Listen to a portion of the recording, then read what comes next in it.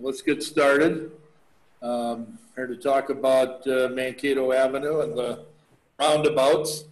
Uh, actually, continue a conversation that we had a month or so ago, which uh, we ran out of time and needed to uh, needed to have a further discussion on it. So, uh, Brian, do you want to start it out, or uh, how do you want to kick this off? We, as the city and, and MnDOT didn't believe that we answered all the questions and kind of ran out of time up against the, that public hearing. So this is a continuation to further answer questions and uh, have the dialogue on this project. With that, I'll turn it over to Brian? Chad or Dale. Brian, when you talk, can you move a little closer to the microphone, please? I'm like touching it. Well, get a little closer. Speak up.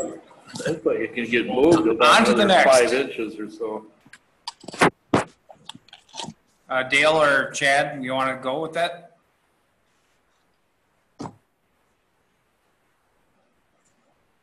Dale or Chad? Um, I think Dale was gonna start it off, so, uh, Dale, maybe if you wanna just go ahead and then I'll, uh, take over maybe halfway through. Sure, I'll, I'll start off. Sorry about that. Uh, that uh, sometimes you forget that pesky little mute button on your on your computer. Anyway, I just wanted to say thanks to everybody for inviting us back and continuing our conversations about the 43 corridor, Mankato Avenue.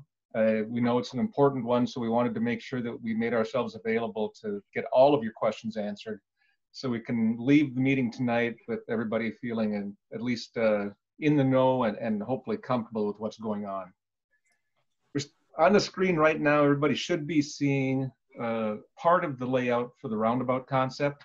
The intersection that's being shown right now is at 63 and 41. Just wanted to give you a, a quick view again of the roundabout corridor and highlight what a probably one of the more significant changes we've made. You can see that not much here has changed at 43 and 61. Uh, again, the, the colors we're looking at, the yellow is pavement, red is raised median, uh, purple is sidewalks. The sort of orangish tan color is trail, uh, so mixed use trail. Blue is shoulders, and, and um, I think that's about all of them. So as we move in to town from Highway 61, you'll see at the intersection with Parks and Brewski, that is where the biggest changes occurred. Uh, zooming in a little bit there's a raised median that's going to be in the middle of that intersection uh, where earlier we had shown that median completely closed off so people coming to Brewski could only turn right and leaving Brewski could only turn right again. Um, this configuration will allow people coming off Highway 61 to make a left turn onto Parks. And conversely, people who are heading down Mankato toward Highway 61 will be able to make a left turn into Brewski. Uh, we've talked with a lot of folks and they indicated that those movements were important to them. So we went round and round with the uh, geometrics unit at MnDOT and finally came to agreement on something that would allow those movements. So that, that's really the biggest change to this layout since you've seen it last. If we continue down the corridor, again, not much has changed at all. Uh, you can see where we move in front of Winona Health.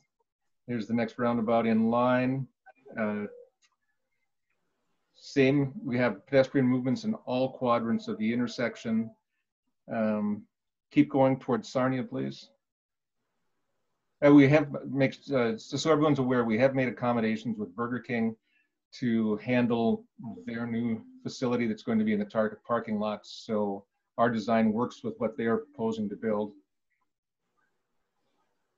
Here's the next intersection, uh, sort of in the east side of, of Winona Health, right by Mugby Junction. Again, we're just moving traffic through. We've made accommodations as best we can to allow all of those movements to make and to increase the safety as much as possible for bikes and pedestrians. Then finally, moving down to Sarnia. Not much there has changed. Um, You'll see there again too, just a reminder that we're going to be replacing that box culvert that's under Mankato with this project. It's very old, it's very rough shape, so that will get replaced. Um, but here again, lots of lots of accommodations to manage the pedestrians and the bicyclists in the area, and still uh, safely let some drivers queue up if there's trains blocking the 43 or the Mankato crossing a little further into town.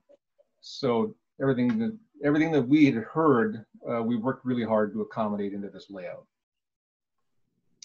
Something else I, I want to just highlight as we move toward looking at the other option, um, a reminder that in the roundabout corridor, where we have four roundabouts, one of the inherent safety features is that it controls speeds. So uh, last time we talked, I just mentioned that a real safety hazard is when you have a large uh, divergence of speeds in a corridor. Um, roundabouts really help take care of that, but Chad is going to talk more about the safety in a little bit. I want to take a look specifically at the Highway 6143 intersection. If we were to go with a signalized intersection, uh, we would have to as you're seeing on your screen to make sure that we could accommodate all the turning movements and through movements that need to occur. Uh, I, I want to talk a little bit about the width of this pavement. We had talked last time generally that this, is, this would be a massive intersection. And you can see on that diagram, Highway 61 if a pedestrian was going to cross, they'd have to cross 150 feet of pavement.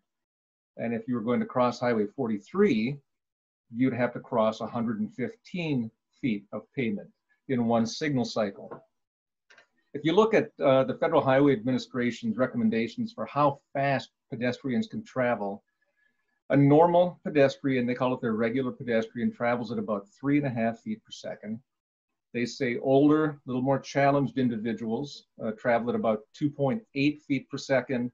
And they recommend that if you're doing an intersection in the vicinity of an elementary school, you should be uh, planning for pedestrians to move through an intersection at two and a half feet per second. So figuring in a little delay time, uh, again, they say that the normal pedestrian starts once the walk signal comes on in 1.9 seconds and older in two and a half. It's sort of inconsequential. But looking at what it would take to cross this intersection for regular and older pedestrians, Highway 43 would take 33 seconds for a regular pedestrian to cross. It would take an older pedestrian about 41 seconds.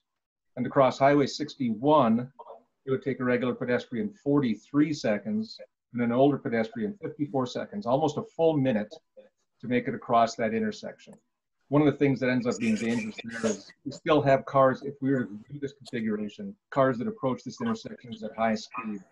Um, so that would be a concern that have there. Next is the roundabout intersection. And what I really want to point out here is all of the opportunities for pedestrians to sit in a safe area and the minimal pavements they need to cross at any given time. Uh, you, you, can see the minimum width is coming into town, Highway 61, turning right to go down Mankato. That pavement width is 20 feet. And so that for those same pedestrians, the regular and older, it would take them six or seven seconds to cross that. And the maximum width of any roadway in this configuration is 32 feet.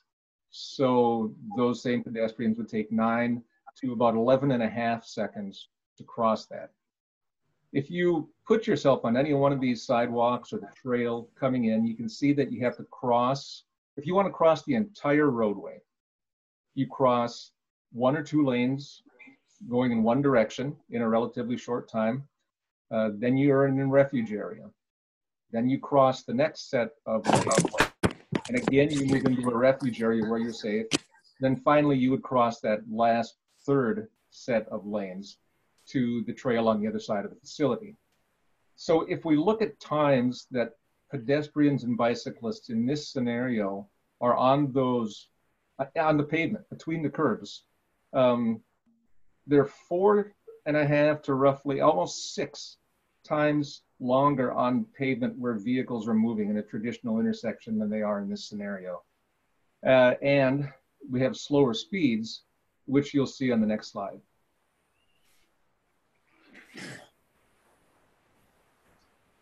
Here's the Highway 4361 intersection with speed superimposed over the lanes uh, based on modeling as to what speeds we could expect to see. Uh, just so everyone can get their bearings, Kwik Trip is down in the lower right-hand corner, uh, Fleet Farm in the top right, Dairy Queen, one of my favorite spots, would be up there in the top left. But you can see that people coming in at high rates of speed, 50, 55 miles an hour, uh, run into the curves that we introduce before the roundabout. That forces them to slow down. Um, 50, uh, if you're coming in on Highway 61 from the north, you can see that you're coming in at about 50 and you hit those first curves, you go down to 35. And on that approach, and really all of the approaches in this configuration, uh, vehicle speeds would be in the 20 mile an hour range when they get to the roundabout and somewhere in the 15 mile an hour range once they're operating within the roundabout. So a combination of those lower speeds, uh, shorter crossing distances, and built-in refuge areas is uh, one of the reasons that we still think that this is a very safe option for pedestrians and vehicles uh, in this corridor. With that, I think Chad, you're going to take over and run us through a few things. Thanks, Dale. I guess uh, I'm just going to run through a couple slides here as well. But I guess the main thing I wanted to talk about is, you know, why we are here. And I guess when we started the project out, the, the limits really were Highway 61 to Sarnia. And we did not even include the Highway 61 intersection. But, you know, as we started looking more into the project, started, we met with people and found out what the issues are that are going on. Um, along with analyzing the crashes that have been occurring out there, you know, it became very evident that we really had to address the Highway 61 intersection as well. Um, just you can note here, there's within 10 years, we had 120 total crashes at the signal that have occurred already, um, including two fatals. We had 41 injury crashes that have happened. It's actually the second highest crash cost intersection in our entire district, which is um, roughly 11 counties in southeastern Minnesota. And that's based on, you know, we assign uh, a cost based on the severity of the crash. And this one is right near the top. Um, the existing signal has a three minute, over three minute cycle length during the peak periods and a lot of that depends on, you know, what the traffic volume is at the time. But during the AM and PM peak, if you miss the, the green, you could be, you know, essentially sitting there for two and a half, three minutes or more um, until you get the green again. And that's assuming that you would be able to make it through on that green before hitting with a red again by the next cycle. Um, you know, just obvious obviously there's some real issues going on here that we wanted to address. So, you know, as it as Dale alluded to, we looked into it more and after evaluating both the signal and the roundabout, you know, the signal really came out on the top top here, both from an operation standpoint, but safety is, you know, paramount or paramount for this intersection, not only vehicles, but we understand the pedestrians that want to get across here, um, bikers that are wanting to get across as well. So we submitted the project, um, actually this intersection for safety funding late last year, I believe it was November. Um, and actually in March, we were awarded the three and a half million due to the fact that it would be a um, the roundabout. So due to the safety benefits from that, we were able to achieve that funding. You want to go ahead? I just wanted to maybe just summarize a little bit what Dale had said and then expand on it a little more. But, you know, just, just contrasting the two, and this is a very, you know, rough list, but probably the biggest points for each one of these is the traffic signal, the current one has safety issues, which is obvious by the crashes that have been occurring there. But in order to provide, you know, improved operations to serve the volume of traffic that's out there, we would have to add turn, we would have to add lanes. which, like Dale said, we'd be adding additional left turn lane on each approach at a minimum. So, you know, you, you start adding lanes and we would not expect the safety to increase. It would actually likely could have the opposite effect. You know, by adding additional traffic, additional conflict points, it's that much more complicated of an intersection. So really the the safety issue would still remain. If you look at the roundabout, you know, it's many fewer conflict points, fewer number of lanes. The high speed nature of the crashes would basically be eliminated. Um, you know, looking at the pedestrian crossings, like Dale said, it's it's roughly a 80% reduction in the number, you know, the actual the longest crossing that a pedestrian would have to go across from 150 down to I think 32 was the longest crossing that anyone would have at one time. Um, you know, looking at the delay, we looked at the operations, and once again, the roundabout was superior um, to the traffic signal in that in that regard. And then the traffic signal, just it's kind of similar to other isolated signals that we have within our district on a corridor like this. I know it's similar to Red Wing on the north end where we have a isolated signal in a 55 mile an hour road and it you're coming in from a rural area there's a signal there's some urban um, you know build up down by obviously all the, the development that's occurred out there but then you get north of there and it's really you know you're surrounded by trees and a wider cross section and it it really still does have that almost rural kind of suburban feel to it which leads people to travel at higher speeds. Whereas the roundabout, um, again, the curves are forcing the drivers to slow down. Um, they, they physically would not be able to take these curves at a high rate of speed. It'd be down to 20 miles an hour. Um, we would be introducing curb and gutter on the approaches, which also is a, a, it's really a visual cue to the drivers to slow down as you're feeling like you're becoming more constrained. The, you know, the cross section would narrow up. You have curb on each side of you.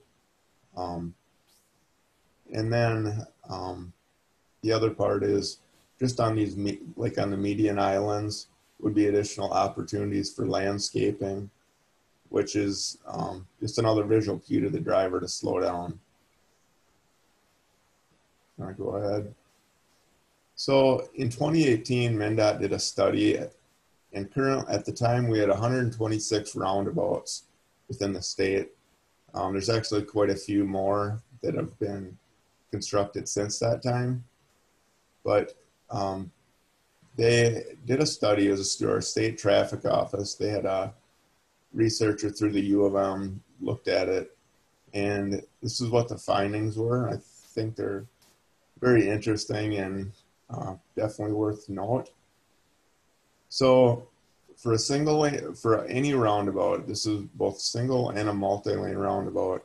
Were, they found that there were 88% fewer pedestrian fatal and injury crashes when they compared them to all the, the similar signalized intersections. And that's after adjusting for the traffic volumes um, at those intersections. So it's, you know, it's not just the total number of crashes, but it's adjusted based on the volumes and many of them were there's kind of a, a, good before and after case since they had previously been signals. Uh, bicycle safety was again superior. There's it, it, did vary a little more on that. It was 25 to 60 percent, but they were still fewer. Um, again, then looking at multi-lane roundabouts, there was a 70 percent lower crash rate and crash density for pedestrian crashes and then pedestrians and bikes was about 50% lower as a result of that uh, study that was done. And I think the last thing I just wanted to note too, I think it's a, a worthwhile fact is since the advent of the modern roundabout, since we since they've been constructed in the U.S., there's been no pedestrian fatalities that have occurred at a crosswalk um, at, an, at a roundabout intersection in the US. So,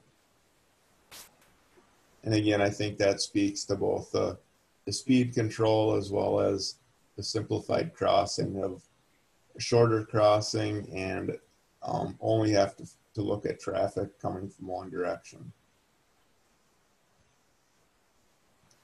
So we do realize that obviously this is a, a high speed intersection. People are coming into it. Um, there's a high, there's high traffic volumes. We're aware of the, the truck volumes out there. So we, we really wanted to do everything we could to enhance these crossings to make them as safe as possible. And I met, I know personally, I met with um, our district traffic office and we, we consulted Federal Highway Administration, actually their safety officer, talked to our state traffic office, um, some other roundabout experts around the state. I know we reached out to uh, some other city and county engineers that have been experienced in this area too. And really what came back recommended um, was to provide the retroreflective markings at all pedestrian crossings. So at each one of these, there'll be ones, there'll be, there'll be markings that'll be enhanced on the pavement. It'll be visible wet or dry, day or night. Uh, they'll be reflective uh, back to the driver, really get them to stand out. The RFBs, this is another big thing that we wanted to be able to provide at all the multi-lane crossings. We recognize that those are having an increased, um, I guess, we really wanted to put additional focus on that just because I know it is a little more complicated to cross the multi-lanes. So by putting the rapid rectangular flashing beacons out there, um, they have been shown in other areas to provide a big benefit. I know in uh, there was a federal highway study actually that was done a, a few years ago, showed that the the yielding behavior of drivers approaching a crossing actually went up by 88% when an RRFB was installed um, at one of these crossings. And after they were installed, I believe every single one of them, um, it was up over 90% as far as the yielding behavior. Um, and then in some applications, these flashers are only put on the right side but we want to make sure that we do put them both on the left and the right side of the crossing um, for the multi-lane crossings. And then, like I said, I guess I already said that, but the flashers have been shown increased yielding by up to the 88%. So this is just kind of a, a visual of what one of the crossings would look like on uh, Mankato or at 61 at any of the the multi-lanes. So you'd have the enhanced crossings, the pavement markings you can see on the on the pavement. Um, there'd be the truncated domes, and then we would have the warning sign on each side of Highway 61, and then as on uh, right in the median as well, I guess.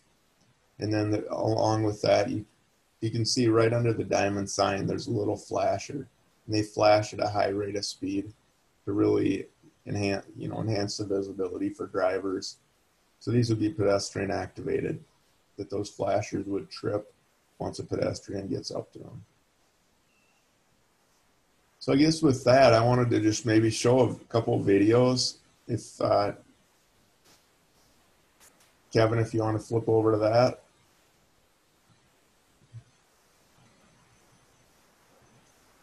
And we we were able to reach out to some different people with uh, access to videos. Some of this our traffic office shot themselves. Um, I know I personally visited a couple of these sites and um, walked through myself. So if you could just uh, cue up the video. This is just, a, I wanted to give a driver's view first. So this is approaching uh, one without a RFB in place the driver travels through. Um, this one just has multi-lane exit, but it again it does not have the RFB present. This one, again, you can see that it does have the RRFB. Um, this kind of speaks to itself. Drives on through here. And maybe if you pause the video right here, I think one thing I really wanted to show about this one is this could be a, a, a corridor very similar to Mankato Avenue. It's a very similar, it's a similar speed limit. Um, you know, just kind of shows some of the opportunities that were put in place here by, the, you know, some of the landscaping that was put in the median. You'll see up ahead, there's landscaping in the boulevards. And all of this, what it really does, I mean, it, it obviously makes the corridor look a lot nicer, but it really also helps to control the speed of these roundabouts by, you know, creating that more urban feel. And I think there's opportunities for this not only on Mankato Avenue, but on 61 as well, approaching the roundabouts. So maybe just pay attention as you go along and just kind of try to, to envision in your head that this is Mankato Avenue. If you want to go ahead. And the one, one thing interesting up ahead here too, if you hit, be able to hit play there again.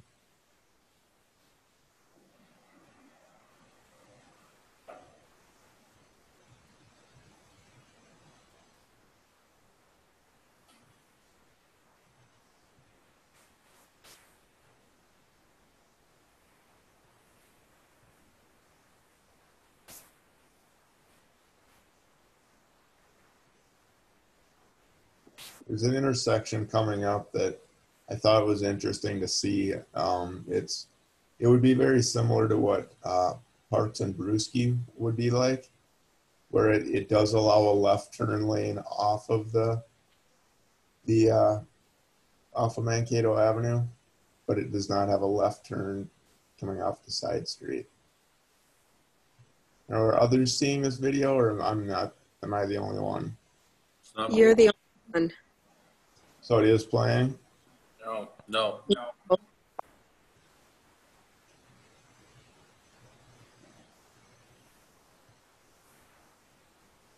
Kevin, are you able to?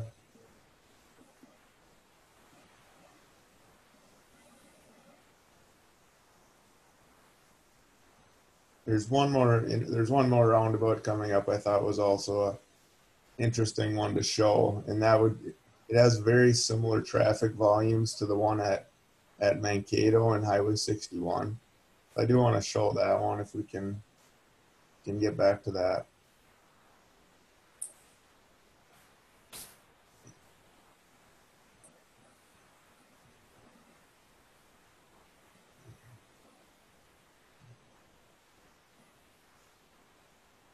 All right.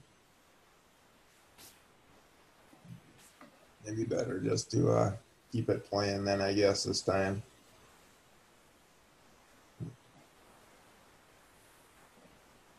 And this is uh, County State Highway uh, 53, actually, in the metro. But so here's that one intersection that I mentioned where it allows a left turn off of the main line, but does not allow a left turn coming from the side street. And then this is the, the actual the last roundabout in this corridor of four roundabouts. Uh, again, very similar volumes on actually all the legs. Um,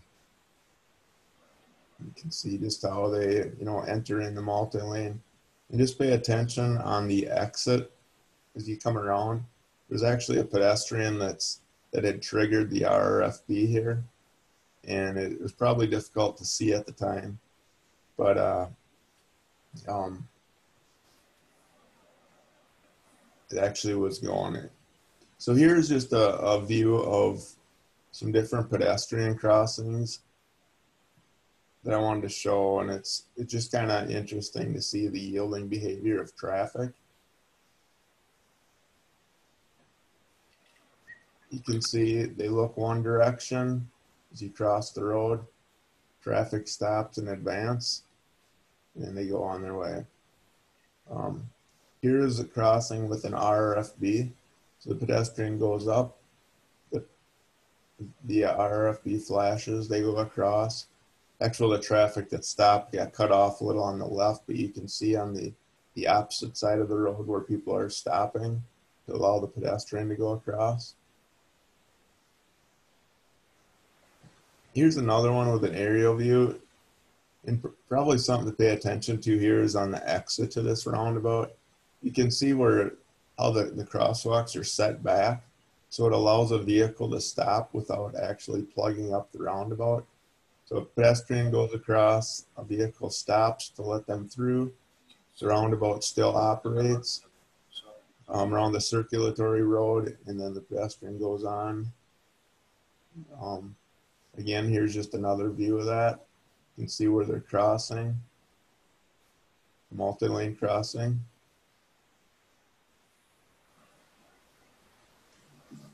Um, and here, the thing I wanted to show here too, if you look at the people approaching the crosswalk, the people within the roundabout, as soon as they come around the corner, the curve of the roundabout, they're looking directly at that crossing. So they're not, it's not going to be unexpected. They would be looking right at the pedestrian in the crosswalk. They can stop, slow in advance. Um, and then you can see on the, the far side of the intersection, somebody stopped as well. So for bikes, very similar. They can cross if they're able to, stop in the median, look the opposite direction. Um, again, here shows some vehicles stopped and they go on the, the rest of the way. I think there's maybe one more bike uh, that vehicles had already stopped to allow them to go across and then they continue on through. So with that, I don't know if you could pause there one minute, but were there any, I guess we can just show this too, as long as we're, we're here. So I just wanted to also show the truck movement.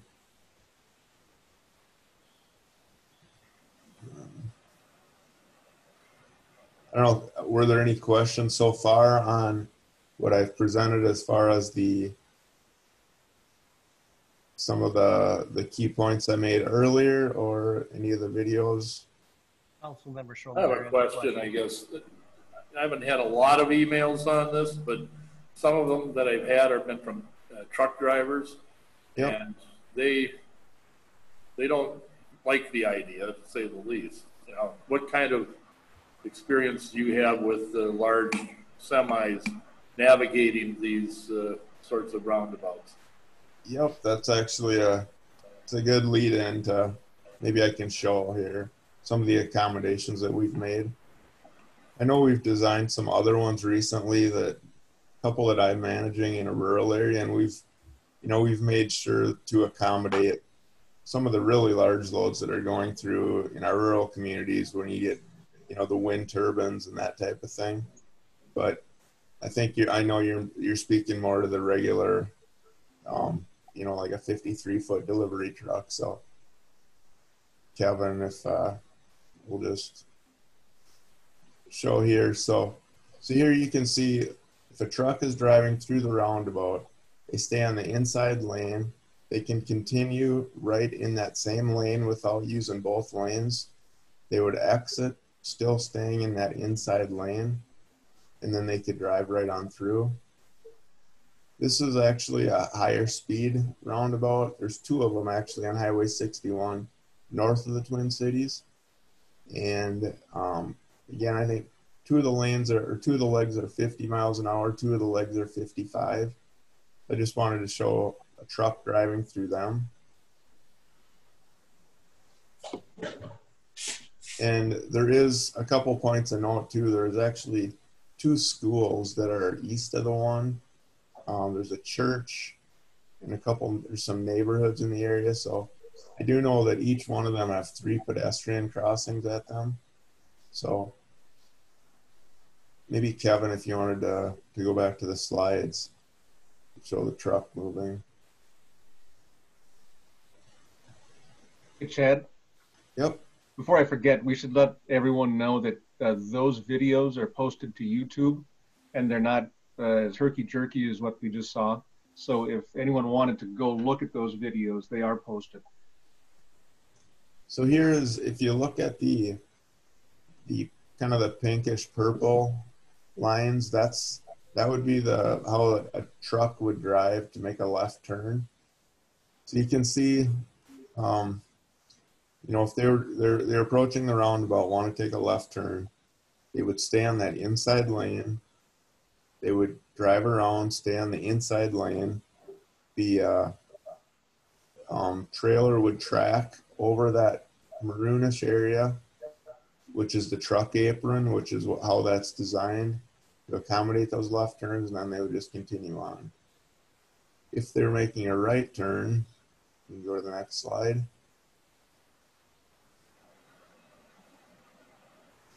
So right turn, if you you see the like say for example the bottom of the page, taking a right to go to the right, um, they would approach on the outside lane.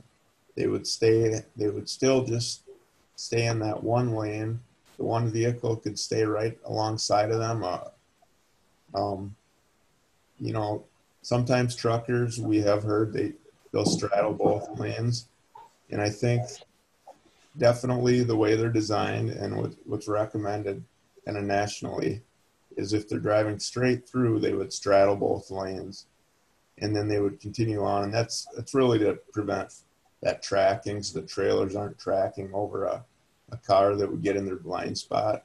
So, so truckers, um, that's how they would drive that right down the middle. And our traffic model does account for that. So that is how they've been designed and that's how it's recommended nationally. But I do know that, you know, I've been involved in several roundabout projects myself and we're, you know, we're getting more, more of them around the district. And really, we have not had issues with, with trucks getting through any of them. They're actually, they're pretty smooth when a truck, you know, when a truck goes through it, it's, it's really not that complex for them to travel as you can see kind of by that a couple videos as they you know they went around pretty easily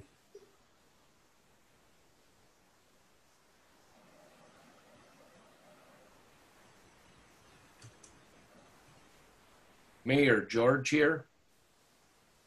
Go ahead, George. Yeah, just uh, in regards to uh, with Chad there, as far as the trucks go, I think a lot of that as well too, Chad and everyone else, is that uh, the experience of the truck driver too. That you know, have they been through those before? And I'm sure probably the first time a, a truck driver is going to go through there, they may be a little intimidated by it. But I think as their experience goes, and there's a lot of experienced drivers out there, as non-experienced drivers, they uh, accommodate those turns and corners very, very well. Councilmember Schollmeier. Go ahead, Paul. Yeah, Chad or Kevin, Dale, whomever. I'm wondering, so what happens when a truck and a car come into the roundabout at the same time? And, um, you know, this is what I've heard from some truck drivers about, uh, you just mentioned that the, the trucks take, you know, take the, the straddle the lanes. And so what's going to happen then with that car that was just to the right of that uh, truck? Does he basically get pushed out of the way? What happens?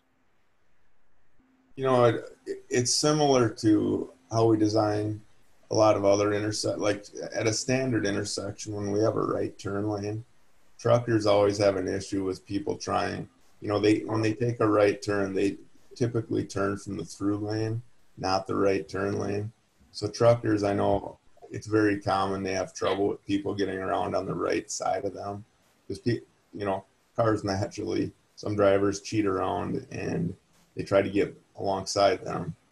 So you know i how these would operate is that it's it's similar to when you're coming into a merge. The the truck would you know they would have to merge over and they would they would straddle that lane um, as they're approaching it. But i think one of the bigger things is if they're taking a left turn that car can stay right next to them. So they they can stay totally they can make that turn stay in the inside lane. The trailer will track over the roundabout and they do not even conflict. For the right turns um, you know in, in general um, some of them are gonna you know if if they're able to, some of them probably will still straddle the two lanes, but um, for certain movements, they can still stay within their their single lane anyways, depending on the size of the vehicle. Um, but it's just those through traffic, the through traffic that they'll have that where they have to straddle the lanes. So Yeah, and so I see that as a, as a potential conflict, because it looks like we have a single lane uh, coming out of the roundabout, whereas we have uh, two going in. And then I have a, a, a question re- related to cycling. Um, Are cyclists now expected to be on the path? And then they, they have to actually um, they're restricted to the pedestrian type crossing. So they can't move with traffic anymore. They have to move as a pedestrian. Is that correct? So, you know, we really see both, and depends on the experience of the biker. And if they're, you know, if they're comfort comfortable, a lot of bikers that, you know, if somebody's following the Highway 61 for a long distance and they're riding on the shoulder, they're probably a more experienced biker. And as you know, they're really given the choice. When they come up to a roundabout, you know, if the speeds are operating at 20, 15 to 20 miles an hour, or even 25, a bike, an experienced biker could easily stay in the lane if they so choose. But, you know, probably the majority of, of bikers, that trail really ties into the, to the shoulder of Highway 61. It's kind of cut off the, on the bottom of the screen, but if you're imagining you're going north on 61 from the bottom of the page to the top, that you, if you're riding on that 10 foot shoulder, you would stay there. You could exit onto that tan um, shared 10 foot bike trail, take that. You would cross the lanes just like a pedestrian, and then you can continue on, and it, it ties into the shoulder again to the north. So it, it really depends on the experience of the biker, but they do really have two options for that. Okay, so the, thank you. So it's not expected that the cyclist would be taking the path. If, if you're an experienced cyclist, I am. Um, I could stay in the traffic lane and the cyclist can take and stay in the traffic lane. That's, that's Yep. correct statement. Okay. And it's similar to Mankato. If there's, if you know, if if the bikers are really comfortable riding out there, there's really nothing that prevents someone out there today from riding it, riding on Mankato or even in the future. But you know, the majority of people are probably going to take the trail just because it's there's that added level of safety for them. So, but yeah, yep. Say, Mayor, I have a question. This is Pam. Go ahead, Pam. Yes, hi. okay, I'm, I'm really interested to see all of the many safety, um, safety considerations that have been added here, and, and this is very good. Uh, the RRFBs, um, Chad, are we planning to put those in at the other intersections as well, or are we just putting them in at 61 and Mankato? Our traffic office, we started with um, Highway 61 and you know the, the issues there, and we really wanted to make sure those were um, addressed first. And so it kind of it really started there, but the more we met with different people and reached saw, um, I guess they consulted experts. It really, um, it really showed a benefit. So they're really recommending at the multi lanes project. so it would be at Riverbend, Frontenac, and then I think there's one multi-lane crossing at Sarnia as well, one or two. So yeah, it'd be for all four of them. Okay, that's, that's really good to hear. Uh, I, in the law, Chad, are drivers required to yield to pedestrians? Correct. Yeah. Okay, So even, if- even in roundabouts, they are required to do that, right? correct. It is treated just like any other intersection or a, a marked crossing where drivers are legally required to stop. Okay, So I think I think a big piece of this is being very cognizant of where we are placing signs, where we're placing land, where we're um, putting in landscaping, just so we really enhance the visibility of when you're approaching these roundabouts. So the where that pedestrian is sitting, making them very visible. So you know, kind of like the the one video showed, right as you come around the circular roadway in the middle of the roundabout, you want to be looking right at that pedestrian sitting in the crossing, um, and then not obstructed by you know any landscaping or signs. So that's something that we'll definitely be mindful of as we get you know further into the project. Thank you. A few questions? Will the roundabouts have uh, plantings in them or colored concrete elevated? So the the center of the roundabouts will have a L. They'll be mounted up. So it's again, it's it's that visual cue for a driver that something is coming up. They need to slow down for. Um, we're actually going to be. We've been working with, uh, I believe it's Chad Uwell, that's helping us get a visual quality advisory committee set up. So we'll be looking at landscaping and aesthetics for really all of Mankato which will include the Highway 61 intersection. So they'll make they'll make recommendations for what really is like what type of plantings would be in the middle, what type of plantings do people want to see within the median. Um, but again, you know, maintenance is always a big issue with that too. So, um, you know, that's something that we'll have to be concerned with and you know, in the end, it's really the city council that would, we would ask to adopt that to make sure that you guys are all right with the final aesthetics and landscaping that are included.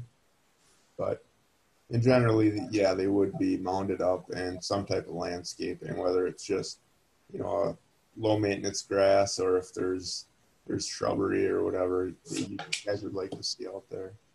You know why that wasn't done over there across from Hy-Vee?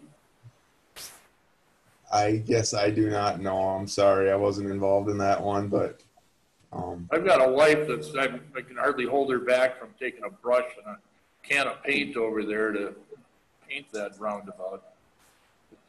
yeah, yeah. I guess I've I I couldn't answer that one, but we definitely this you know for a for a larger project like this, that would definitely be something we'll look at. Uh, Mayor Al with a few questions, if you can Go hear ahead, me. Al. Thank you. Hope everybody can hear me. Um, I'll try to ask all my questions now. Uh, um, as far as the the flashing beacons for pedestrians, is that timed to the pedestrian's pace, or are they timed just at a set rate? We time them based on the, the speeds that Dale mentioned.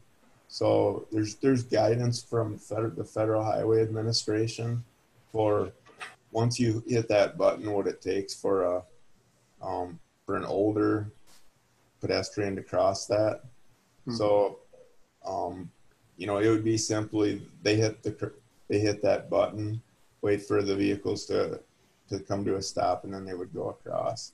Similar to like a traffic signal, how it's how it's timed based on the distance they have to cross. So it's not sensitive to, to, to motion at all, but it's, it's timed and they remain on if somebody is riding a bike and gets across there a little faster. Correct. It So- would stay on. And that's not all that bad because it says, hey, there might be something up here for drivers ahead of them. So that's a good idea. What about, um, in general, uh, um, the, um, uh, the, the, the turn at, at Brewski and Parks Avenue, uh, you don't have to go to the slide or anything.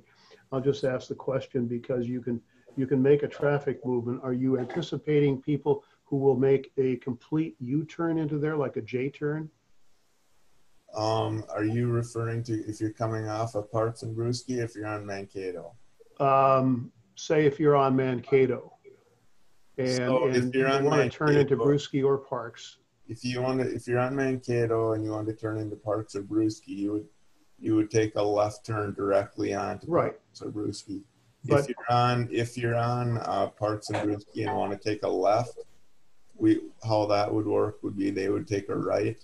They would go down to the roundabout either at Highway 61 if you're on Parks, and then go around, and then you you know send, you can go back the other direction. If you're So on Brewski and you want to head towards 61, you would just take a right, go around the roundabout at Riverbend, and then you'd head back to 61. let's say you wanted to take a shortcut if you're traveling south on Mankato at Brewski and you notice there's a way to turn, I mean, uh, at, uh, you know, toward Brewski, but then complete a U-turn and head back north on Mankato. Do you anticipate drivers doing that? No, I, I really don't see why why someone would need to do that. Um, you know, really the people who would be making that move, I think, are a lot of the the businesses over in that area, like you know, like uh, Severson's and people going to the Fleet Farm. Um, I think there's the hotel over there, but really the only the business access between Parks and Brewski and Riverbend is that the subway property, and they would have access right off of Brewski, so they could turn in, take a left onto Brewski, and then they could go on the driveway right there. It's understandable. Uh, question, how does traffic in general, and this will be my last question, uh, how does traffic at uh, Mankato 61 with uh, your proposed signalized intersection with the additional turning lanes, how does the volume of traffic at those intersections compare uh, in a standard signalized intersection with what you're proposing in, in a, uh, the, the the roundabout fashion?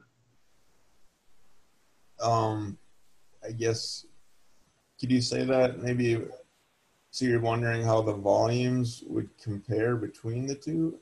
Yes, how much traffic could one have? And what would be the constraints um, to reduce the volume? If, if, if for some reason um, our traffic volume increases, um, you know, does, does this allow a, a smoother, faster flow uh, in terms of traffic numbers that get through the intersection compared to the standard lighted or signalized intersection? Yeah, sure. So basically, the when we look at at the designing these intersections, we, we designed the roundabout based on a projection 10 years into the future. Um, so we we want to not overbuild these to add too many lanes because the more lanes you add, the more conflict there is, and it just you know it makes more long, longer crossing for pedestrians. Um, so we try to really, keep, you know, only provide the the absolute number that we would need at the, at the within the 10 year time frame. But we also look out 20 years and to see to make sure that we would be able to accommodate that if traffic would grow faster than we would anticipate. So the the roundabout is actually designed so on the like say for example on northbound and southbound on Mankato, um, right in there the the median is it's designed so it could easily be it, to put it simply you, we would shave that median off right there. And it's accommodate it would be designed to accommodate a second lane both northbound and southbound. Um, but both on day of opening and looking at our traffic projections the roundabout would be able to handle a far greater volume of traffic compared to the signal with less delay. So we have made accommodations though if that volume would increase more. Um, what the one other thing I think is worth noting too is MnDOT. We frequently do this. We base our design on 10 years, but we try to make accommodations for a future growth that you know is is out there a ways. And I don't believe that there's any roundabouts in, in Minnesota right now that have been expanded on the state highway system. So we, we seem to think that they're going to get overloaded, but yet it's actually gone the other way. There's more that have been reduced in lanes. We've went back and tried to, to shrink them down a little bit more, um, just to help out with the safety. So, Okay, But- thank, thanks again for your answer, Chad. yep. And I, I- I just want to just make sure it's clear too. This is a snapshot. We look at the worst time of the day. We look at the AM and the PM peak hour volumes. So over 90% of the time, the roundabout is going to function better than even what our traffic model shows. Um, you know, we take we take one hour in the morning and one hour in the afternoon, and that's what we base everything on. And so it's a snapshot in time. And then e- beyond that, we even look at the, the worst 15 minutes of that one hour. So that's really what we're designing these based on. So, you know, we are confident that these are going to be able to hand withstand this, this volume of traffic that we have out there. Thanks again. Mayor George here. Go ahead, George. Uh, now, Chad, by looking at this, uh, there are no direct bypass lanes at all, correct? Correct. We have And what- removed the one northbound to go south on 61, but we'll preserve that right of way. So if there any, you know, if that volume would increase significantly in the future, we could always add that back in. But we really wanted to remove that. It's it's really not necessary from a volume standpoint. And by having that in there, that's just one additional conflict for that free right bypass crossing that 10 foot trail. So we feel it's a lot safer to, bring all those people right up to the roundabout and not have to cross that 10 foot trail in the southeast corner. Um, and really that, that volume making that move is pretty low. So we're, you know, it'll work fine without that. Now, the markings, now I seen on the pavement where they had the arrows and going straight, making a left. Is there going to be anything hanging overhead at all?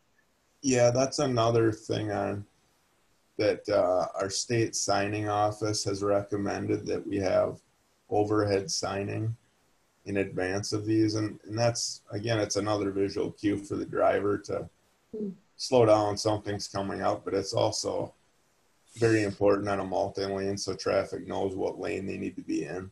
So we want to get them well in advance of the roundabout. We would put in those the overhead signage. So we have we have planned for that. Okay, and then also as as you move forward on this and and beginning to close in plans and providing that uh, the health situation kind of clears up, uh, you will have another meeting planned, like out at the Armory or City Hall or somewhere where the general public can come and look at this again. Yep. Yeah, we will definitely have another outreach uh, for the public in the future on this one as we get a little bit further along. And I think a big part of that next meeting will really be focused on construction and, you know, it'll be a review of the layout. And we also want to really, we have some different education materials we can put out there. So it's, so, you know, people are getting more comfortable with driving these things and just know what's what's coming and what to be expected. So we do have some different educational things we would show at that that meeting as well. But a big part of that would be is just so the businesses and the residents and everybody along the corridor can plan how they're going to have, you know, so they're not they're not surprised when construction starts. How people are going to be able to get to their business. Um, Steve has a question he'd like to ask. Hey, hey, Chad, if you're, if you're at Kwik Trip and you want to head south on 43, you take a right, go around the roundabout, correct? if you're at Kwik Trip and want to, so if you're Kwik Trip in the southeast there and you want to go where? Oh gonna yes, south on exactly. 43. Correct. You would Okay. put right on. Or the other, uh, most likely what people would do is they would just take and go out the driveway on Sugarloaf Field directly, and then they could just take a left turn at that intersection. Well, there- there's all these, there's all these um, parking lots and everything that kind of all jammed together back there. There's no clear way of getting around. Not, now, if you're at, if you're at the hotel Motel 8 on the other side of that intersection and you want to go into town, how do, how do you do that? If you're down there and you want to go into town on Mankato, No, you're, You're across the road. the other, the other side of the road from Kwik Trip yep. and So you like want to go into the city. So right there's motel, Super Eight. I want Yep. to go from Super Eight and I got a meeting downtown. How do I, how do I do that? So the people you're saying coming off of like East East, uh, East Lake. East Lake Boulevard, they would, they would have to, you know, they could either come off and they could take a left turn. Um, you know, le- they would either have to go to the north along 61 or they would have to come down here and then they would, they would have to make that U-turn there.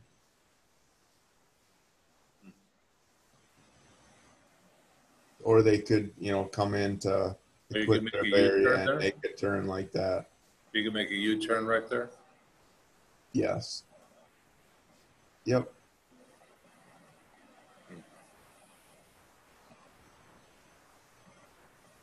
Yeah, I'm hoping we can address some of these, like how you get back to Fleet Farm and, um, the restaurant there, Perkins, and then that whole area around Kwik Trip. Have we been talking to Kwik Trip or the, is there? Yeah, we've discussions met with, about- Kwik Trip's moving. I do think that's, I do think that it, it, you know, it is gonna change quite a bit when Kwik Trip redevelops that. We, we have met with Kwik Trip and we've been discussing it with them as well. Okay. So It's- Just to it's make just- sure their site development plan works with Good, it. it's, it's just critical that we have those discussions. Hey, That Chad, whole Sugarloaf view, that whole road back there, it's, hopefully this makes it easier for people to be able to go And I either know they were, direction on forty-three. and I know they were supportive of this option, so that was good to hear at least. Yeah. Um, I'm Chad, sorry, you, Uh, we should also mention that we're planning to meet with Winona Health, look at the construction staging to make sure that uh, any impacts to their operations are absolutely minimized as much as possible. Right, especially ambulance access to the emergency room. Yep. Mark, Michelle, Alexander. Go ahead, Michelle. So, um, I've heard from quite a few people and most of them are fine with the project. Their biggest concern, of course, is that intersection at Highway 61 and 43. And I think to your point, some of this is going to be education and just doing it um, and realizing how it functions. But now I'm, I'm going to ask a question about that U-turn.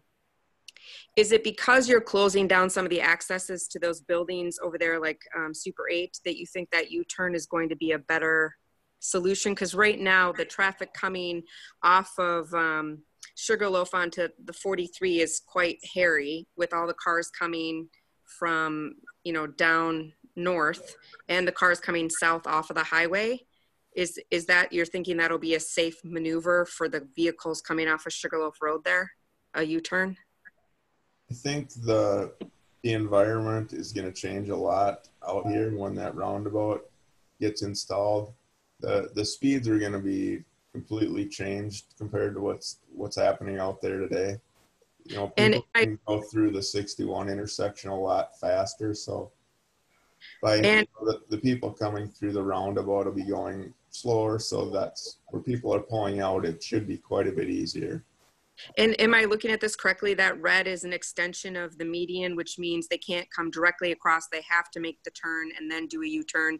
So then maybe their entrance into is one-way traffic instead of two-way. Am I reading that correctly? Correct, it is, and Okay. again, that's just because of the proximity to proximity to the intersection. We've just we felt that was really needed from a safety standpoint. And I oh, guess the other reason people or the other thing people could do is they could come off and if they weren't comfortable with that left turn or to make the U-turn, they could take a left in and I guess they would they would have to go into the Kwik Trip and then they could exit out their driveway to take a right. And the Sugarloaf Road people can still go down to Huff Street depending on where they're going downtown. So all of their access isn't closed anyway. It's just going to be a little bit of an adjustment basically at that intersection. Sure. Okay, and so at this public meeting, you'll go over some of these details with the public about shorter distances and shorter wait times and kind of how you envision trucks and cars navigating it together. Because I think, I think George brought that up, but I think that is the biggest concern that I've heard from the community is people are concerned about what happens when they hit that intersection. Um, not so much the other ones, um, because they're smaller. But this one in particular, I think, is worrisome for um, some of the drivers. They've actually asked if we could have police direct traffic, but I'm not sure that's no. I don't think that would. I'm not sure that would help. Yeah, we, we, we definitely would do that. I mean, we can go over much of what we went over tonight just to show a lot of these same things to drivers. Um, again, it's, it's the education piece. It's people just getting used to it. It's going to be a changed traffic pattern. But I mean, we're, we're just as concerned about safety out here as, as the next person. So we're not gonna, we would not build these if we did not feel they were safe or if they could, they could operate, um, with this volume of traffic. So, you know, we, I mean, we simply would not do that. So it, it will be the education though, but we definitely can do that at the next meeting.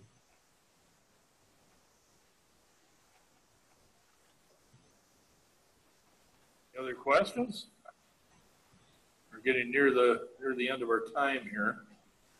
Uh, Chad, can you address the common question that comes up of why four roundabouts? Can't we do a signals in the middle or one of the three, you know, be eliminated, one of the four be eliminated?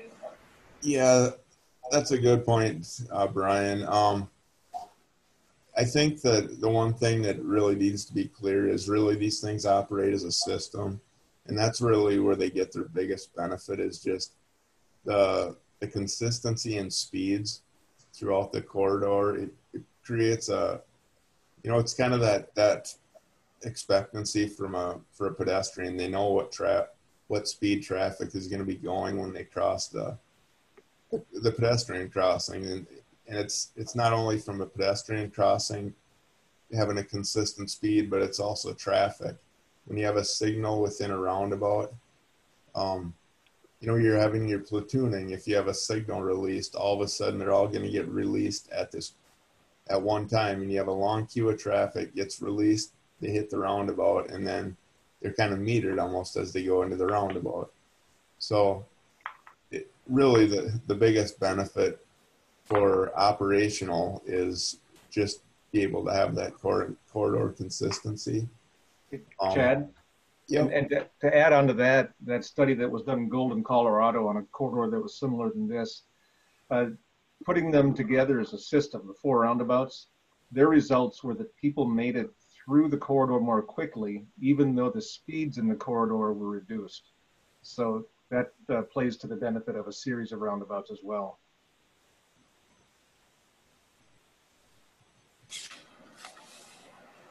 Any further final questions? Thank you, gentlemen, for very much for coming back to the council and sharing uh, some additional information and giving us an opportunity to answer questions or ask questions. So Thank, Thank you, you. Mayor.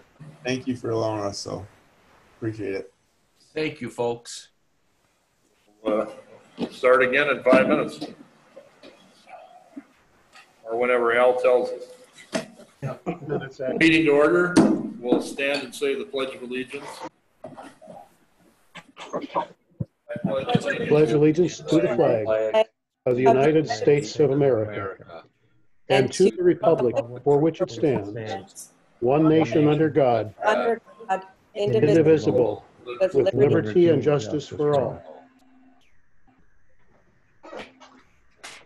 All right, I've got a uh, script I need to read here. It's 6:30 and I've called the meeting to order. It's a regularly scheduled meeting of the Winona City Council and is being held via conference call pursuant to Minnesota statutes 13D.021 in response to the COVID-19 emergency. Let me remind those who are on the conference call line, please mute your phones until you're asked to speak. Also, please identify yourself before you speak. As required by the statute, all votes will be conducted by roll call, so each member's vote on each issue can be identified and recorded. Also, if any time a council member is not able to hear the discussion or one another, please interrupt me immediately to indicate so. Also, just a reminder to state your name before you speak so that you're easily identified. Uh, I have a few, just a couple of items here I'd like to uh, uh, bring up. Uh, One is, uh, I want to thank uh, Brian Verdi for his uh, efforts over the past. funny. That's not Um, funny. He doesn't have any like rape allegations. Somebody needs to mute their mic. Okay. I'd like to thank uh, Brian Verdi for his efforts over the last week and the Wear One for Winona campaign. I think it's been uh, very successful. We've had hundreds of responses uh, from individuals. Uh, 30 businesses have taken the mask wearing selfies and shared them across social media, and uh, along with the reasons why they're wearing a mask. Uh, there's lots of lots and lots of good reasons for wearing a mask. Earlier this afternoon, I asked the city manager to send out a, uh, a draft of an emergency declaration, which I would like the council to consider. Uh, we have uh, um, been asked by many people to require people to wear masks in public, and we have not done that so far, mostly because uh, we haven't seen the spiking that uh, uh, we thought was necessary. We've also been anticipating that possibly the governor would uh, uh, require that statewide. He hasn't done that so far. And uh, the, the campaign of Wear One for Winona, we wanted to see how effective that can be. We've learned that the city of Rochester, effective this Wednesday, is going to uh, start requiring uh, city masks be worn in public by everyone. And uh, we've also seen a spike in uh, cases in Trempealeau, uh, Onalaska, uh, La Crosse, and this is very concerning for us here in Winona as well. Now, we have a draft of a, of a emergency declaration requiring people to wear them, and I'm curious uh, what the response might be or the support for such a, an effort um, by other council members. Um, there's several options I think that we have here. One, um, I can just declare it if I want uh, for up to 30 days. Um, we could have the council uh, weigh in and, and, support such a motion and uh, let the mayor make that along with the staff make that uh, decision about when that would start. Um, we could wait two weeks if necessary uh, for a for this to be on the agenda for the council to consider it. Uh, so we have options, uh, but we also have serious concerns here in this community about uh, how this uh, uh, COVID-19 is spreading. Uh, there's several cases a day. Um, we haven't seen any more deaths, but we certainly are seeing a, a huge, a, a, big increase regionally. And um, I think there's some power in working together with our neighbors to um, try to uh, beat this down. So I'm curious at this point if there's any comments from other council members on how they might uh, feel about this. Mark, Michelle Alexander, I did not receive that um, memo. Okay. It was sent out, uh, you know, maybe four o'clock, late I earlier look at- this afternoon. Look so. at my email now and it's not there. So, Okay. I mean, I would want to read it and I have so many questions after, I mean, after I read it, maybe some of them are answered in there. I'm not Okay. sure. All right. Okay. Councilman Thurley here. Yep, Al? Um, You know, I concur with uh, Councilperson Alexander that I did receive it, though I did look it over, but again, it's one of those things that um, it's, it's necessary health-wise, but I'd like us to at least have a discussion. I know I've received emails, and I don't know if uh, other council members have well, have received uh, emails from people who um, are concerned about this. I, I don't particularly agree with uh, with their perspective, but they certainly uh, have have uh, uh, perhaps everything to be a part of that discussion. So, but I, I think I would like to see us just, um, you know, catch our breath a little bit, have a chance to read it over, and then uh, perhaps um, uh, vote on it accordingly after the public has gotten a chance to uh, give their input. I'm sure it'll be overwhelmingly in favor. That's what I do when I go out. But again, um, uh, this is another way that we can uh, keep people in Winona healthy by by doing this the right way. If we do it the wrong way, I don't think we'll get as much cooperation. Thank you. Thank you, Councilmember Al. Paul? Uh, I had a look at the memo and, and I would certainly uh, support um, uh, such resolution. My concern about waiting, it, it's not on the agenda tonight, and my concern about uh, waiting to vote on it as a council is here, then we'll be waiting two more weeks. And I've been getting uh, plenty of uh, constituent feedback about issues uh, in the public, in particular, some of the, the public uh, facilities that require um, constituents to go to to get licenses um, and other things. And and I know uh, we don't run the county operations, but certainly uh, there's been a lot of concern um, that I've heard about people going into uh, to get uh, tabs or other things and, and not feeling uh, that they're being protected. Mayor George here. Oh, sorry. George? Yeah, uh, I did not see that memo as, uh, as of yet. I would like to look at it as well too. I know I've had, uh, some emails and phone calls on it and messages saying that, you know, people are not in favor of this. I hear some from, from people that are in favor of it. Uh, some young people told me that, you know, I think everyone Winonan knows right from wrong. And, uh, you know, if, if, it, if they feel they should be wearing it, they will wear it. And then again, if you have that authority to go ahead and declare that, which I say, you know, we probably won't do, do nothing on this tonight because it's not an agenda item. Uh, if you feel it's getting worse and you have the, uh, the authority to go ahead and, uh, and put it in, uh, you know, uh, you know, that's your call. And of course, the big question is, is how do we enforce it? So. Um, Eileen Moeller here.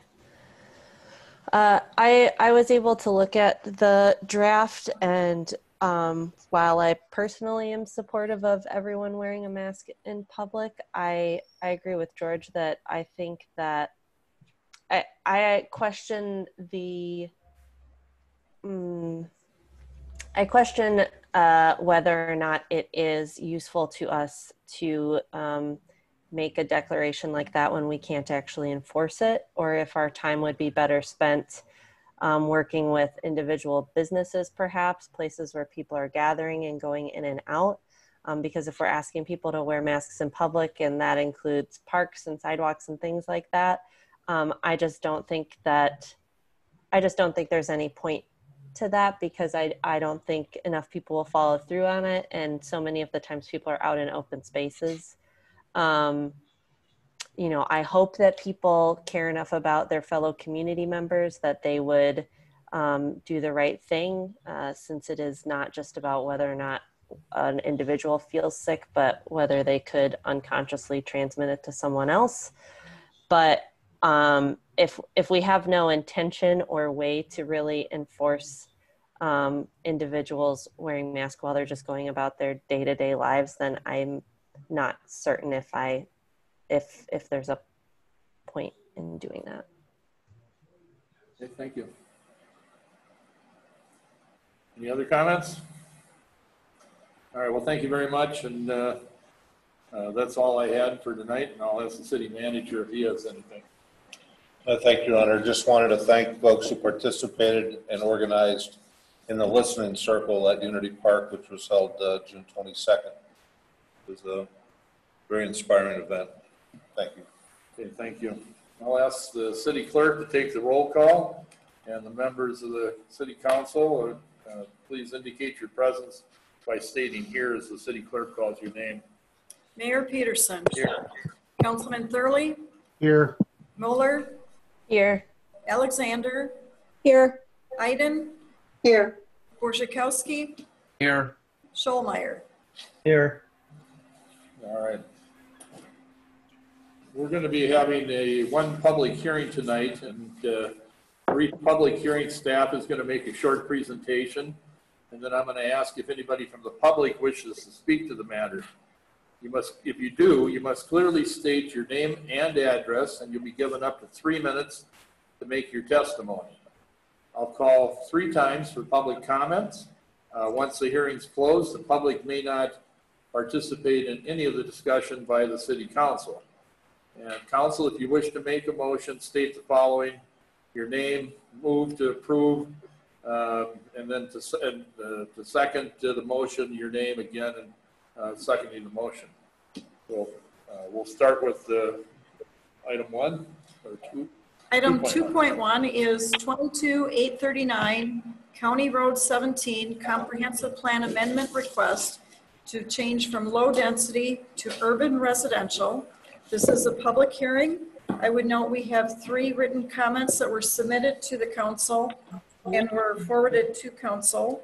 Uh, One from Jerry Pappenfuss, the second one from Sterling Heath, and the third one from Sandy Shirk Heath. And those comments will become part of the public record as well as the ones that were included in the packet. I'll declare the public hearing open, and I'd like to call on uh, Lucy McMartin to uh, open it up. Thank you, Mayor and members of council. Uh, City planner, uh, Carlos Espinosa, will take this on, but I wanted to give a community and economic development perspective on this project. Um, As you know, our comprehensive plan is getting quite old and we're seeing more and more amendments that do come forward.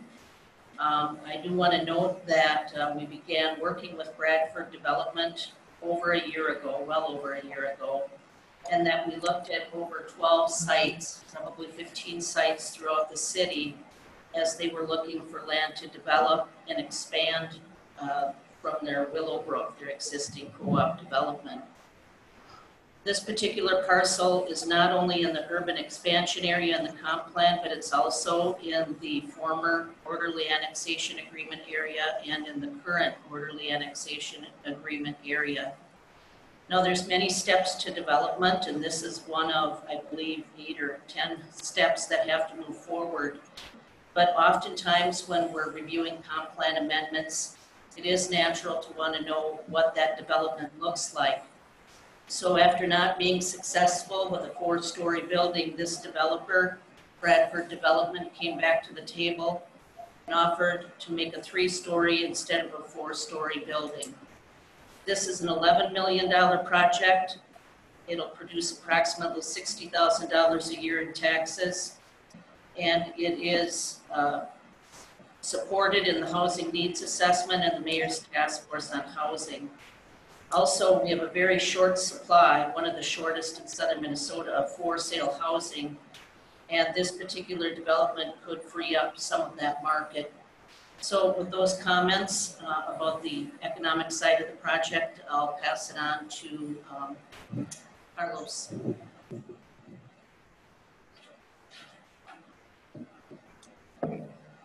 Evening, Mayor and Council. I'm going to share my screen.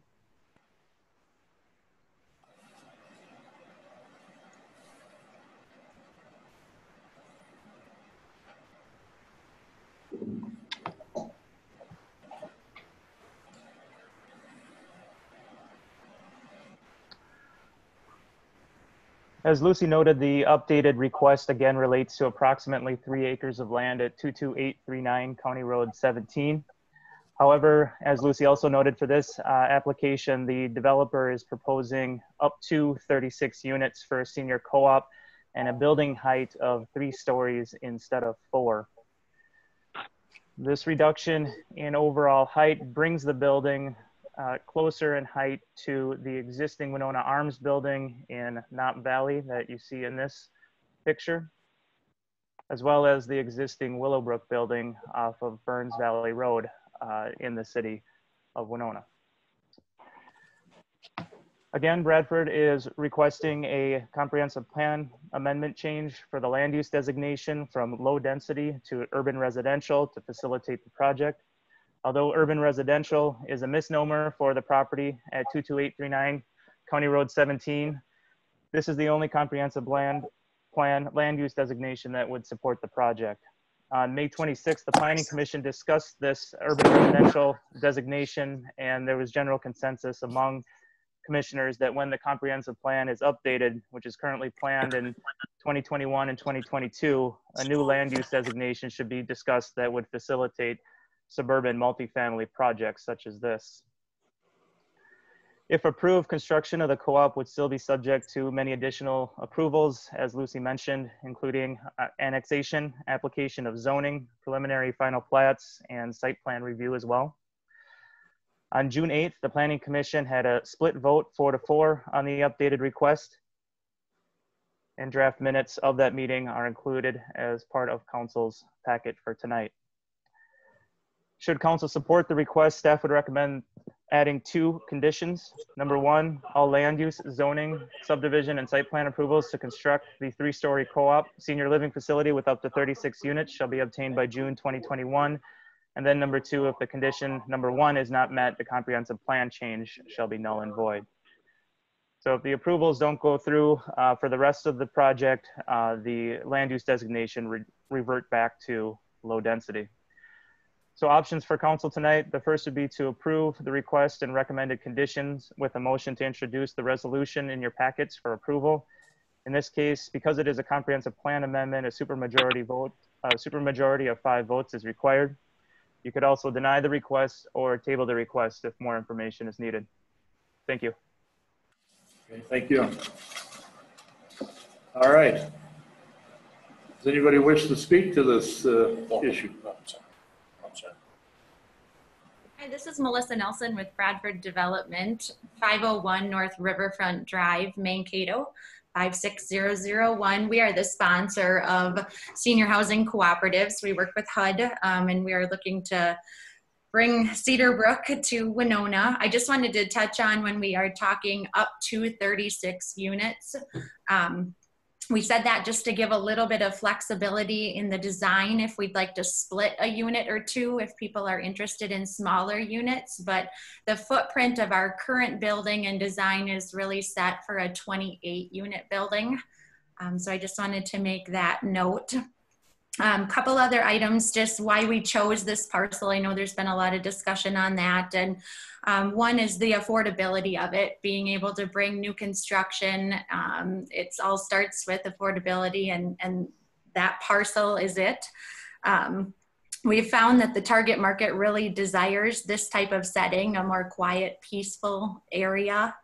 Um, I've read in a number of studies that County Road 17 was deemed an area of future growth because the utilities are right there near the site and um, it's close enough in proximity to the retail and health healthcare and golf course. Um, it is really just an ideal site for a senior housing cooperative and they're it's a fantastic concept. They're good neighbors. They're well respected properties for years and years into the future because they're hud insured buildings. Um, so i can't say enough about how wonderful of a multifamily building uh, they really are um, just one other thing, we've got a lot of positive feedback, you know, on the cooperative concept itself, as well as the location. Um, the reservation list is still exceeding the number of units that we would be building, knowing that that was the potential site for Cedar Brook, which brought a lot of people um, in.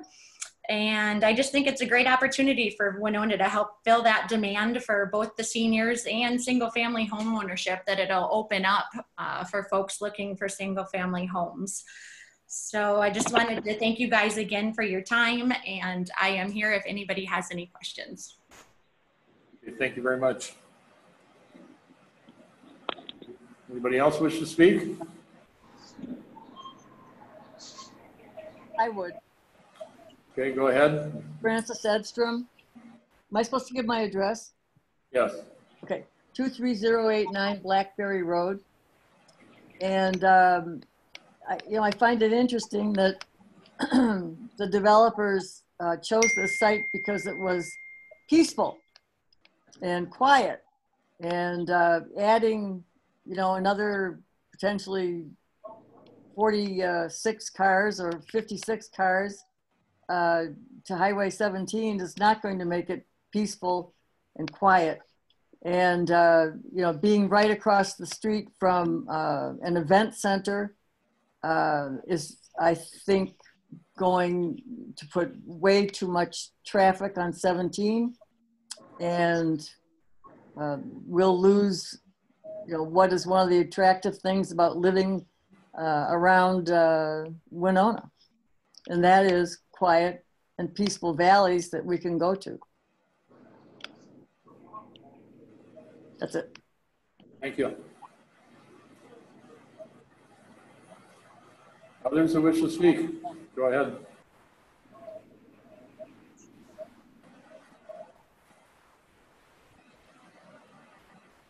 Anybody else wish to speak? Hi, this is Laurel Littrell, 23273 Blackberry Road. We're on. Okay, go ahead. Great, thank you. I hope my um, comments were included in the packet.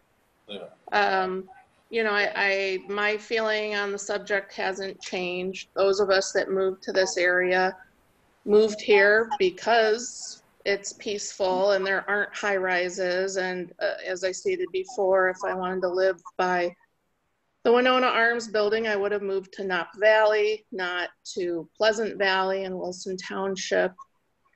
Um, you know, this is Wilson Township property. I, I think its fate should be determined by Wilson Township, not Winona. And the fact that it's HUD, I appreciate that, but it makes me feel like I have even more of a stake in it because they're my tax dollars paying for it. And, you know, who Uh, is there, I guess I have a question about that. Is somebody determining that, you know, the seniors who are on the list are in need of affordable housing or are they simply, you know, well-connected people who happen to know the developers and people on the whatever planning committee and just sort of got a backdoor in because I keep hearing, oh, the list filled right up and we didn't even have to advertise. So are these just, you know, affluent Winonans who want to live across from the golf course and get a great deal? Or are these really seniors that are in need of affordable housing? I guess that's a question I have and my comments all still stand. And uh, I'd like to say something. Mike Littrell, 23273 Blackberry Road. Uh, Michelle Alexander had mentioned that the people living closest to this development were um, in favor of that. And I've talked to um, the terraces, they're not in favor of this.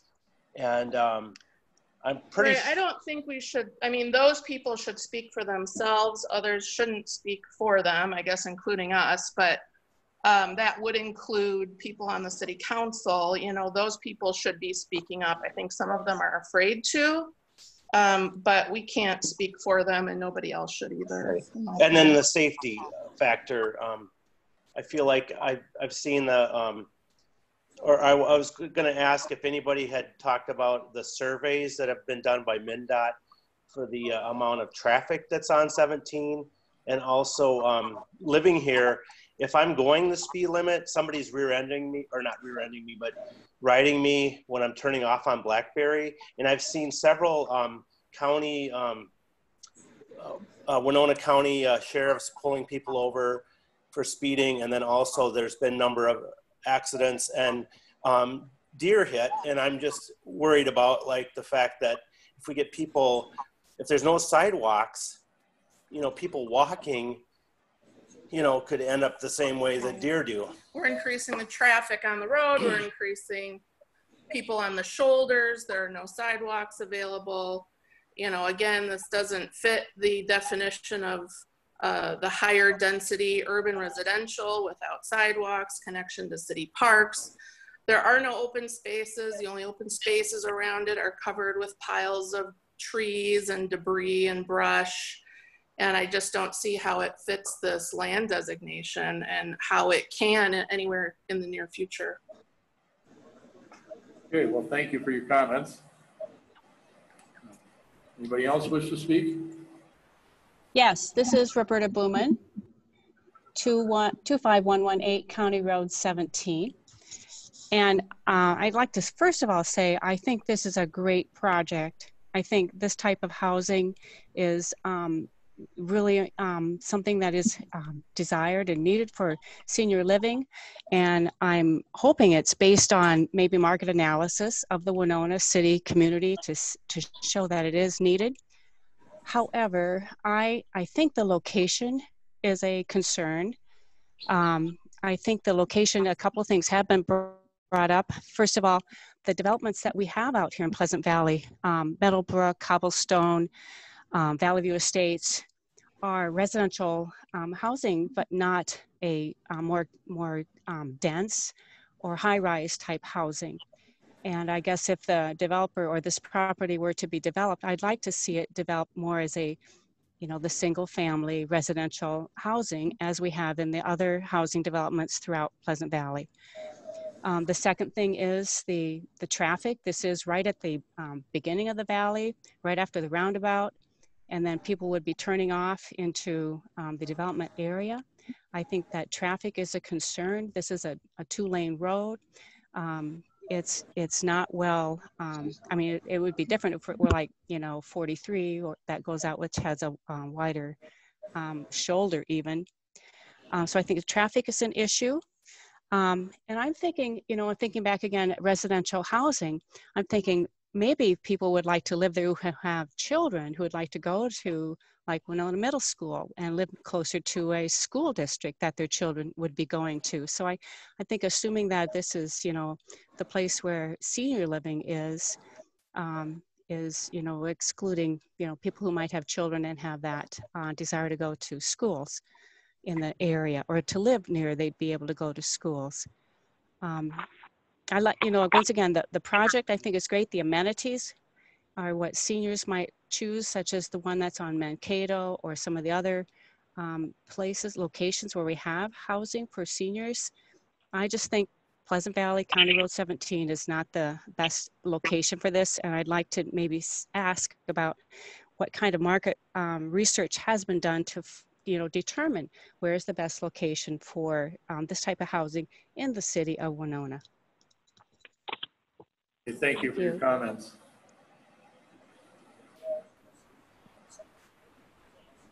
Anybody else wish to speak? Uh, two cars, two two eight nine seven. Sorry, can you speak up, please? Sorry. Chris Terrace, 22897 County Road 17. Um, I guess all I really have to say is that uh, I did talk to Michelle, uh, part of the project uh, coordinator there, and um, I did have some concerns. And I guess that's between me and you know the developer. Uh, I really don't think that uh, anyone else should be bringing my name into this right now. And um, that's all I have to say. Thank you very much. Okay, thank you for your comments.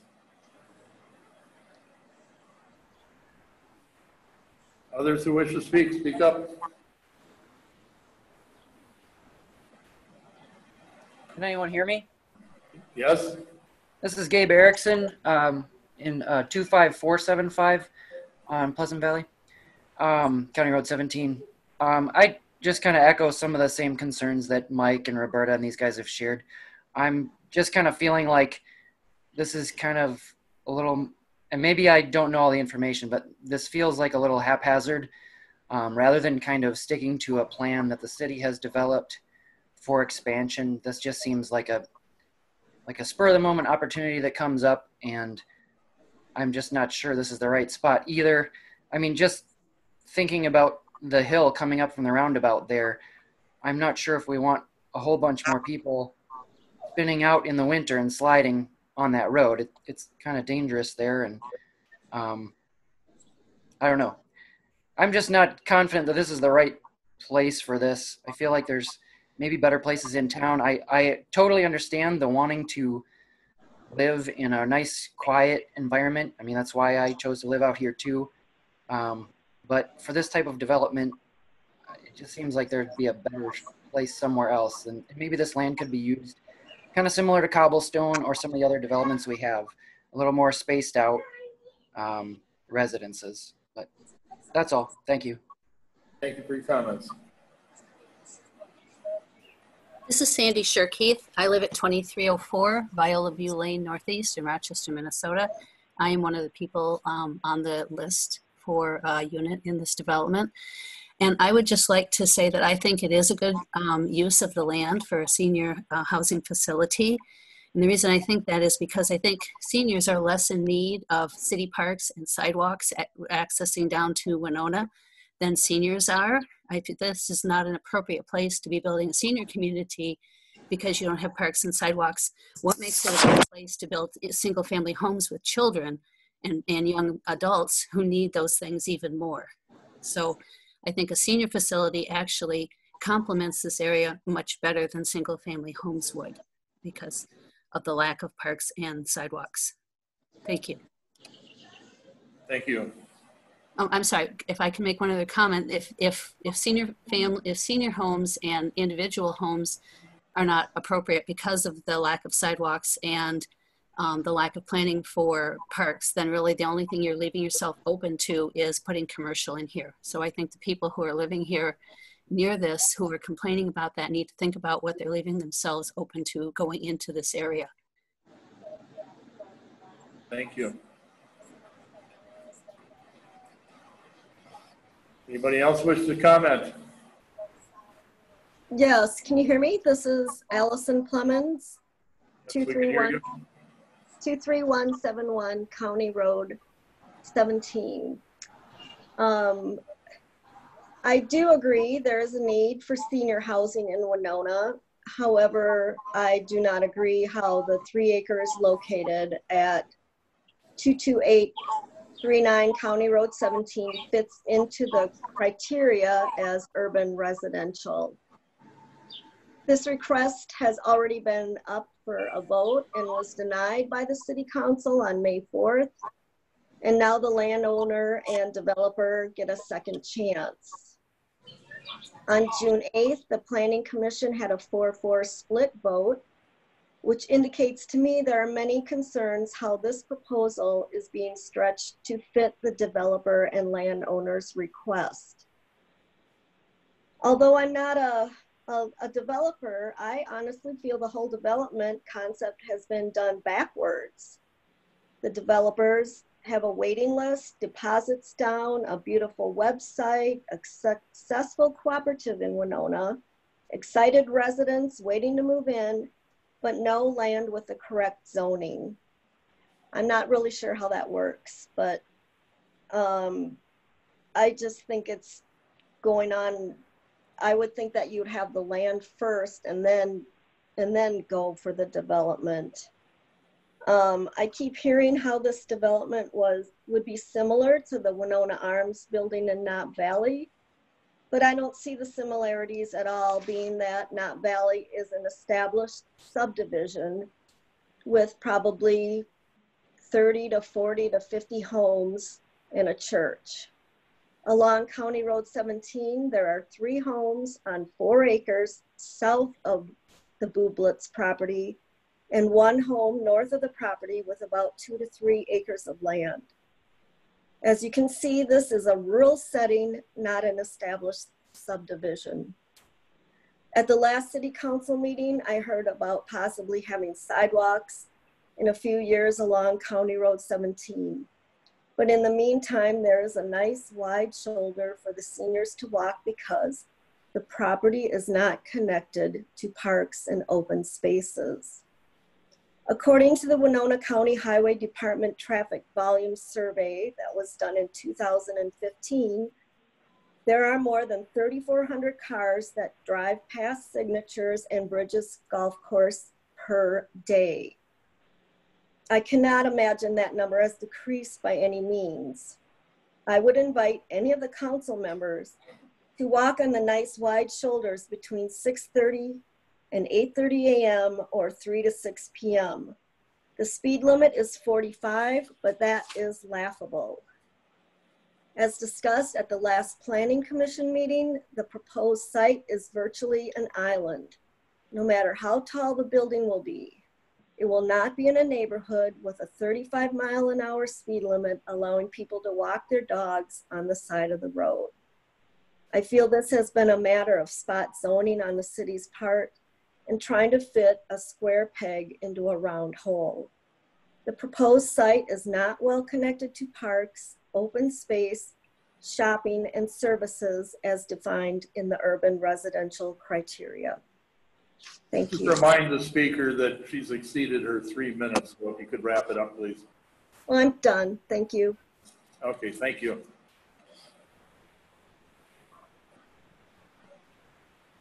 Somebody else wish to speak?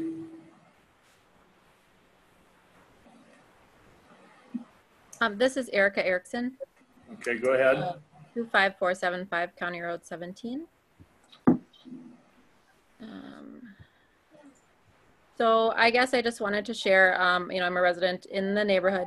And my concern really is just um, how this is going to change the landscape and then also the safety, as the previous um, speaker mentioned. So I'm hoping you can see my screen. And this is a picture um, taken from the bluff that's just on the other side of signatures. And you can really see here that this development is really going to change the landscape. Um, and I don't think in a positive way.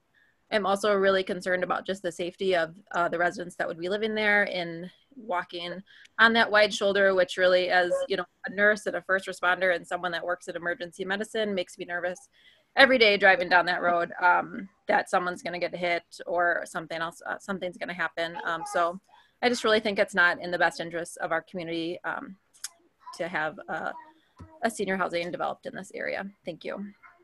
Thank you.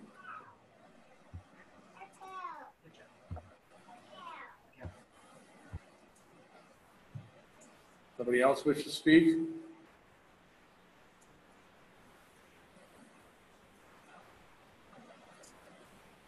Anybody else wish to speak to this issue? I'm going to ask one more time if anybody else wishes to speak. Wilson Town Chair. I'm This is. Leon Bowman, Wilson Town Chair. Can you hear me? Yes? Okay, address 2282 Seven Garvin Heights Road. Um, you know, we're talking, I keep hearing about, you know, the nice quiet neighborhood. You got Gilmore Valley, Buck Ridge, Windcrest that are surrounded by the city and not Wilson. It seems to be that the cost of this property is a big issue because there's HUD money involved. I thought there was some issues that they could be worked out to put this in a nice, quiet, in a area that within the city of Winona, that there was some grant money and some uh, tax uh, stuff that, that could be worked out with the developer and the city. I also wonder why this is only look you're only looking at it for three acres when you're looking at nine acres for annexation. To me, that just that doesn't make any sense. Plus the fact that it would be considered, at least for us, to be spot zoning. I understand that you're going through your uh, comp plan, and maybe that's the time to go through this and do a complete uh, revamp of what you have on the books. It would make this whole situation a lot easier. And also, um, we do have an agreement uh, not signed because we still have some technical issues to take care of on an annexation agreement. And I think that uh, this could all wait until that's all taken care of. All right, well, thank you for your comments. Anybody else wish to speak? Hello, yes, can you hear me? Yes, go ahead. Yeah, hi, this is Philip Heisey from 23017 County Road 17, an adjacent property owner. Um, I don't want to rehash the whole, I, I've listened to all the negative, and I agree with uh, basically all of that. Um, you know, this is the second shot at, at an approval, and I don't really even believe it's the height of the building that matters. I mean, it, you're changing the zoning from something it's not. Yeah, I don't know if this is working. It's working. Okay, well, I'm getting some horrific feedback here. Anyway, uh, the, the, my biggest concern is is the changing of the zoning. The, certainly, uh, there is a lot of traffic on Pleasant Valley Road, and it moves pretty quick. Um, as other people have already stated, uh, thousands of cars a day. Um, most of them probably ignoring the speed limit. Uh, you know, the other thing I'm very concerned about is the six acres that's not even in this plan, but I've seen the original Bradford development drawing that includes, uh, I think it's about 30 twin homes just packed in that six acres. And I'm sure that's someone's nice dream for the future. And I don't know if this is a way to get in the door with it or not, with the changing the zoning and the annexing, et cetera but we're certainly uh, not in favor of this development, that's for sure. And I'd just like to reiterate my uh, agreement with all the previous callers who uh, don't think it fits the, the plans or the zoning. Thank you. All right, thank you.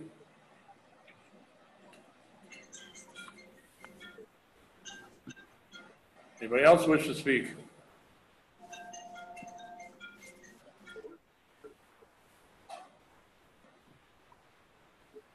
Can you hear me?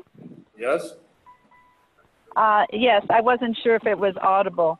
My name is Christine Krauser. I live at 22183 Pinecrest Road. And when I, I look out my backyard, I look across the um, golf course and I see the bluff in the distance. And I really don't wish to see some multi story building over there. Uh, I agree with the previous uh, comments that this is a nice, peaceful community. I actually moved to Winona because it was peaceful, and I'm very disappointed that we're trying to put in uh, uh, large multi-unit buildings on these county roads. I think it should go into the city limits, and that would be better. And uh, we we don't want to look. I don't want to look at that across my backyard. Thank you. All right, thank you.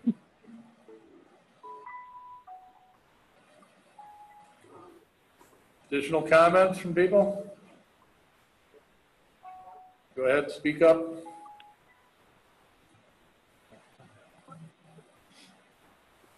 Anybody else wish to speak?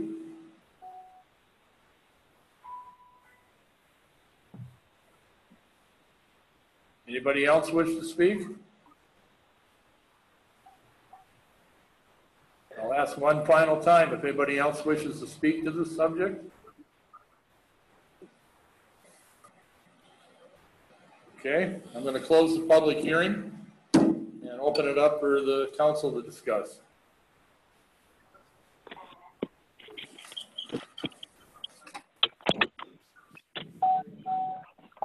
Well, I, Michelle Alexander, would make a motion to approve the request and recommend the conditions under the option um, and accept the four attachments as provided. Is there a second to that motion? Councilman Al Thurley here, I will second that Okay, we have a motion by Michelle and a second from Al. Open it up for discussion, comments, questions. Mark, Michelle Alexander. Go ahead, Michelle. So I appreciate all of the comments that we heard, and I understand that um, a development next door is not what any of you want. However, um, this has always been the long-term plan for the city of Winona. Over 15 years, this has been the plan. We used to have an orderly annexation agreement. We extended services. The plan um, before I was ever elected was to move the city and development up this corridor. Um, that's why we ran sewer and water lines past this property. The thing about Winona is we've never taken land. Um, we never force people to hook up, but when they request it, we look at that request and the need of the community. And I have to believe that every person that signed the document wanting senior housing at a lower income or a more affordable cost in a cooperative type of situation decided that that was the place for them for a variety of reasons, none of which um, maybe are relevant to, to you or what you would want, but they're not looking for parks and they're not looking for sidewalks that they have to shovel. And they're not looking to be next to a busy uh, shopping center. They're all capable of driving a mile down the road to go shopping.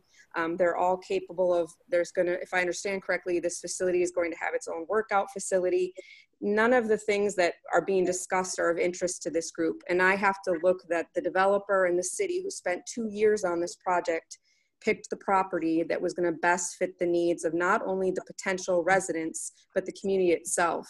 And although we've talked about a lot of other places in the city of Winona, some of them are not available because they aren't, um, they're the state property or the, or the developer didn't want to sell or they want to develop themselves. So what we have here is a situation where a developer and a group of residents came together, came to the city and found a project that was going to work um, for them. And I don't believe that they will build an eyesore. In fact, I think they will build it to complement the neighborhood, the area. The bluff will cushion it behind it. You won't see the cars, they'll be parked behind. And I think it'll end up being a wonderful place for um, some of our seniors or older adults that want to move back to community or want to have a cooperative living agreement to to cohabitate. All right, well, thank you. Mayor George here. Go ahead, George. Yes, hearing all the comments that were made tonight, uh, not for it and, you know, uh, being for it, whatever it all may be. But just on a couple of things, I'm just jotting down some stuff here is that uh, every development brings increased traffic. It brings more activity. They talked about the traffic on high on County Road 17. 17 is a well-maintained road.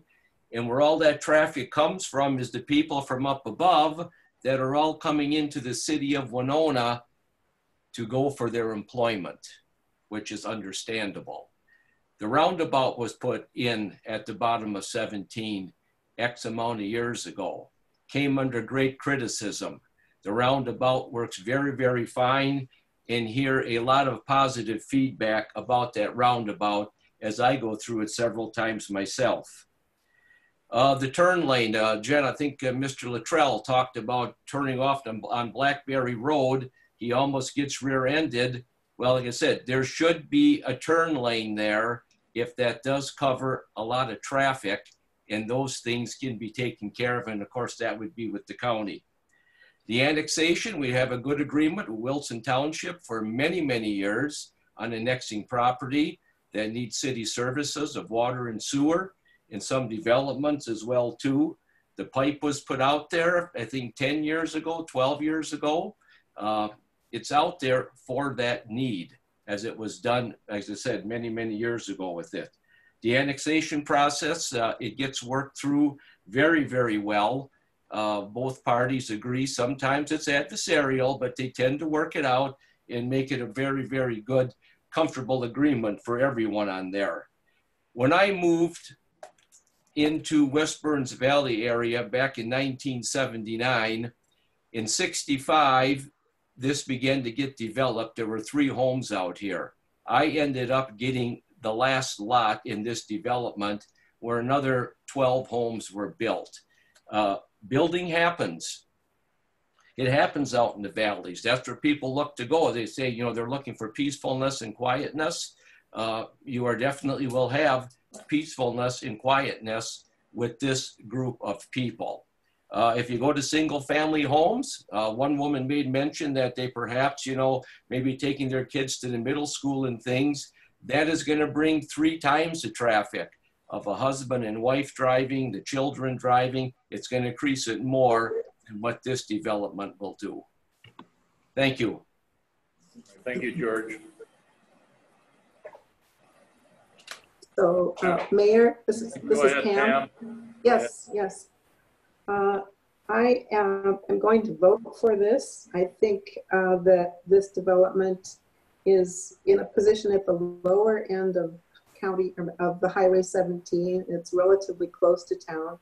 And as uh, several people have mentioned, we've already uh, extended the utilities out in that direction. It has been uh, part of the part of the plan, perhaps not part of the not not part of the uh, stated plan yet, but I think that it's been a logical development. My, my problems with this development before at the last vote were two things. One, I did not want to see us uh, annex by ordinance and, and possibly disrupt a relationship with the township. I didn't want to do that.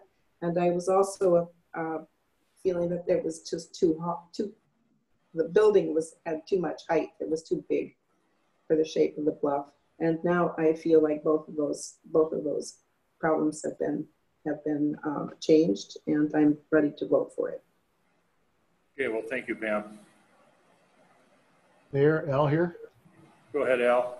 Thank you. Um, I voted for the initial uh, concept, and I'm glad to hear the developer came back with some plans that took into account some of the concerns who, that were expressed during that meeting. Um, and uh, as was stated earlier in this meeting, what these types of projects do is free up uh, single family homes within the community and making those available um, to uh, folks who wish to raise their families while the previous residents move into uh, housing concepts, something like this. And uh, it's, it's a win for the community, I think, and I'll continue to support it. Thank you. Thank you. Mayor Eileen Moeller here. Go ahead, Eileen. Um, I uh, voted against this initially, and um, I received a lot of emails about it uh, from folks asking me to support the development, and I've taken all of those under consideration.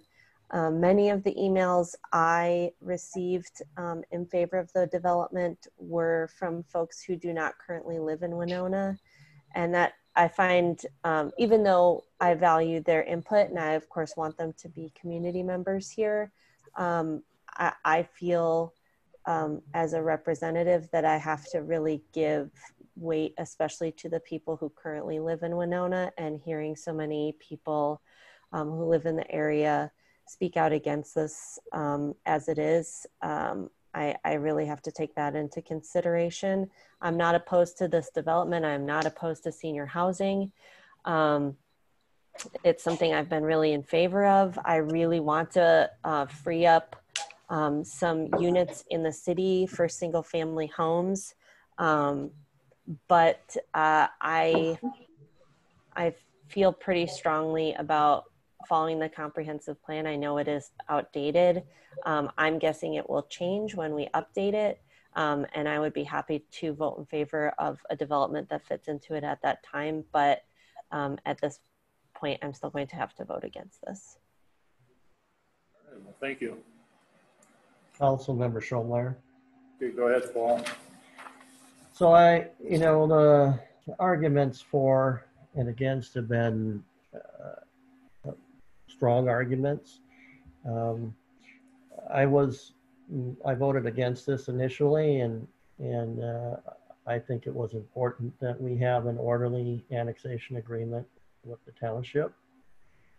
I think, uh, and the reason why I said that is because it was clear to me when I was first elected that uh, Winona is going to grow and it's going to grow south. We can't grow uh, north. We can't grow across the river. We have one, one direction to grow. Um, the infrastructure, like uh, Councilmember Borzyskowski said um, earlier, the infrastructure was put in place years ago.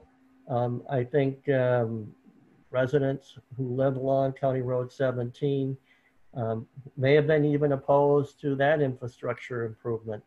Um, nevertheless, those improvements were made. The infrastructure is there. These are, this is a logical uh, one of the logical places or directions that we're going to move. And uh, if it's not uh, uh, this development, it's going to be another development. Um, it, it's, it's just going to happen. Um, so I'm inclined uh, to vote in favor of this. Um, I will say, however, uh, I have heard from some that we have a developer from out of town coming to develop uh, land and, and this whole discussion about this not happening downtown. We have property owners and developers from Winona who own property downtown who know that there is a demand for this type of housing. But instead, they're deciding to build rental. And so this is a message to those property owners and those developers. Start building what we need in our community so we don't have to put it out on the fringe. I will be voting in favor of this. Okay, well, I guess I better uh, weigh in on this myself. Um, I voted against it the last time, and I, I feel that was the right vote. I'm comfortable with that. Um, I understand the concerns especially of the neighbors, about the project. Um, I do want to say, though, that I think that my main objection was the scale of the project, and I appreciate the developers uh, coming back with a, a different design, um, instead of a four-story, a three-story building. And uh, uh, certainly I feel more comfortable uh, with a three-story building than a four-story building on that location. And uh, for that reason, I'm going to change my vote and I'm going to support it tonight. Um, I think that I think the developers responded well to uh, a lot of the concerns that we had as a council uh, when this came up the last time. Um, I know there's a need for it. We certainly have heard from many people that uh, very much wants this project to go forward. Uh, Willowbrook's been a very successful project. I know there was opposition to that when that was built, and I think that that turned out okay, and I certainly hope for the same with this one. So, unless, if there aren't any other comments or questions, uh, we can proceed to vote. Mayor, George here. Go ahead, George. Yeah, they brought up about, you know, the mess that's out there right now, the piles of uh, wood and, and brush and all those things. And as this gets developed, all those things will be cleaned up. Okay. Any other comments or questions before we proceed to vote? All right, we'll vote by roll call. Mayor Peterson, Aye. Councilman Thurley, Aye. Councilman, Mo- or Councilwoman Moeller, Nay. Alexander, Aye. Eyden, Aye. Borzyskowski, Aye. Schollmeyer. Aye. Motion passes, six in favor, one against. Moving on to the petitions, requests, and communications. Item 3.1 is reappointments to the Heritage Preservation Commission of Connie Dretzky and Inez Henderson. So moved, Michelle Alexander. Also, Councilmember Schollmeyer, second. All right, moved by Michelle and seconded by Paul. Any discussion? Hearing none, we'll vote by roll call. Mayor Peterson, Aye. Thurley, Aye. Moeller, Aye. Alexander, Aye. Eyden, Aye. Borzyskowski, Aye. Schollmeyer. Aye. Motion passes. Item 3.2, reappointments to the Recreational Waterways Commission of Tori Moore and Adam Peterson. Councilmember moved. Schollmeyer, move to approve. Michelle seconds. Motion by Paul and seconded by Michelle. Any discussion? Hearing none, we'll vote by roll call. Mayor Peterson, Aye. Councilman Thurley, Aye. Moeller, Aye. Alexander, Aye. Eyden, Aye. Borzyskowski, Aye. Schollmeyer. Aye. Passes. Item 3.3, reappointments to the Joint Airport Zoning Board of Al Thurley and George Borzyskowski. Michelle Alexander, move approval. Second, Pam Eyden. Motion by Michelle, seconded by Pam. Any discussion? Hearing none, we'll vote by roll call. Mayor Peterson, Aye. Councilman Thurley, Aye. Moeller, Aye. Alexander, Aye. Eyden, Aye. Borzyskowski, Aye. Schollmeyer. Aye. Passes. Item 3.4 is a license agreement request from Chase Hoffman to place a handicap ramp at 151 East Third Street. George. I'm move Michelle to Alexander. approve I'll, Uh, I'll second you, the George. I'll second George. Michelle. license. I'll second, I'll second Michelle. Uh, who made the motion? George? George, yes. Okay, motion by George and seconded by Michelle. Any questions or comments? Eileen Moeller. Go ahead, Eileen. Uh, just that I'm I'm so happy to see more of our buildings becoming uh, accessible, and I'm excited about it. Agreed. All right, we'll vote by roll call. Mayor Peterson, Aye. Councilman Thurley, Aye. Moeller, Aye.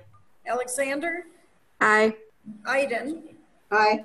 Borzyskowski, Aye. Schollmeyer. Aye.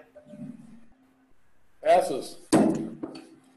Item 3.5 is the Winona Area Youth Hockey Association report. All right, we'll uh, turn it over to Chad. Uh, Mayor and Council, uh, Eric Borowski is on the line with us tonight. Uh-oh. Uh, she'll be giving an update from uh, Winona Area Youth Hockey Association. Uh, this is an annual uh, report that the Hockey Association provides to City Council. It's uh, part of uh, their agreement, and then Council has always asked specifically our department to have agreements uh, come before Council and give the annual report, much like Prairie Island Campground does with front porch management. Uh, however, the probably greatest difference here is that this will be probably much briefer than that due to the nature of the license agreement. So with that, I will uh, turn it over to Erica. Okay, Erica?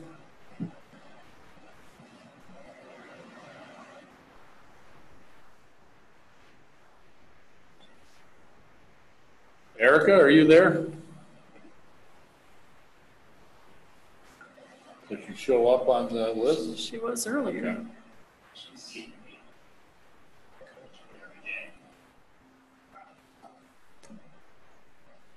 This is Brad, the IT coordinator. Um, Erica's microphone is not set up. So we'll have to do that. Did she hear you? Likely. Or she can join by phone. Okay, we'll give her a minute or two.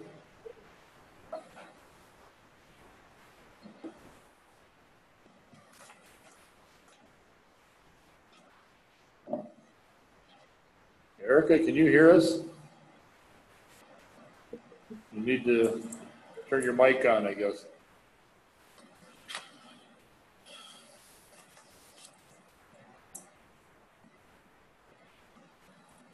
Can we come back to this item? Do we want to- Yeah, why don't we do that? Let's come back to the hockey report later. Do we Let's want move to, on to three point six. do you want a motion to postpone until she logs in or? I'll move to uh, delay this uh, agenda item until the uh, presenter is available. Second, I Michelle. second that.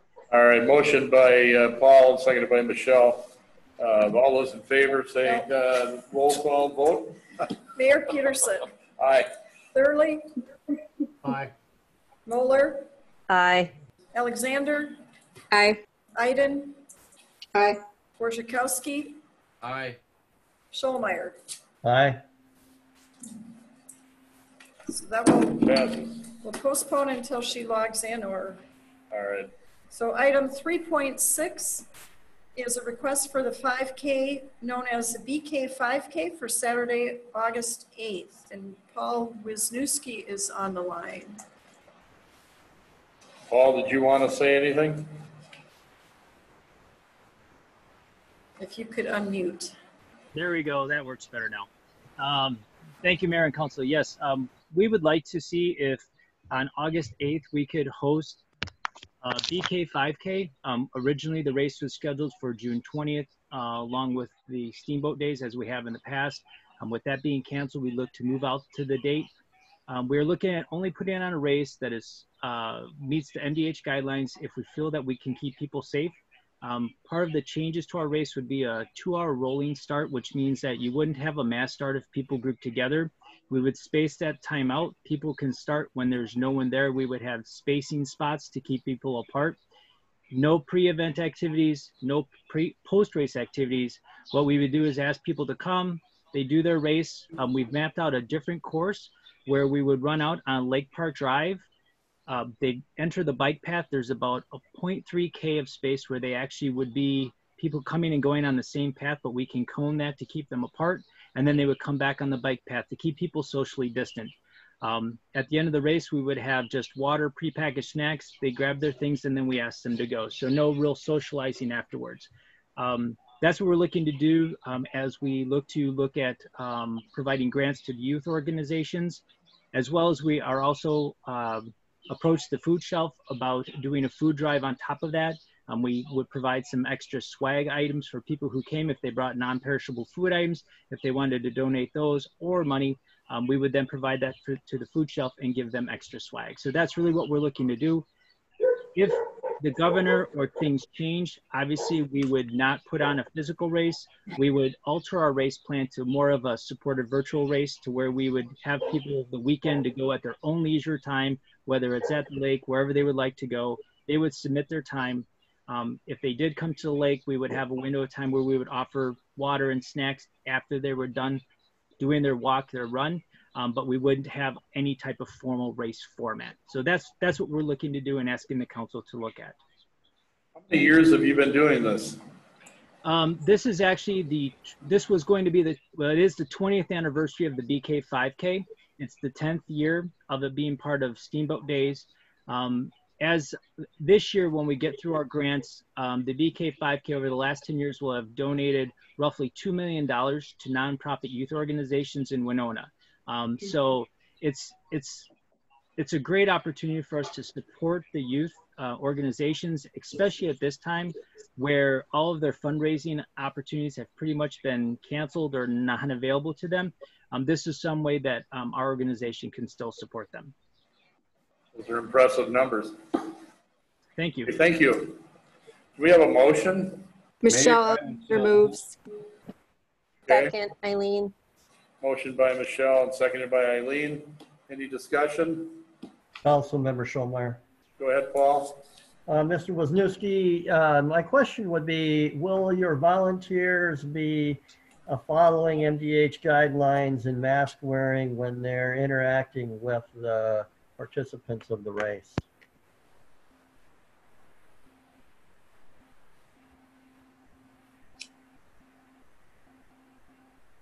Paul, we can't hear you. Yeah, you're muted. Harley. I'm sorry to interrupt. This is Erica. Can you hear me? Uh, Erica, could you hold on for a couple of minutes? We uh, moved on to the next item. We'll get right back to you. Understandably. Thank you.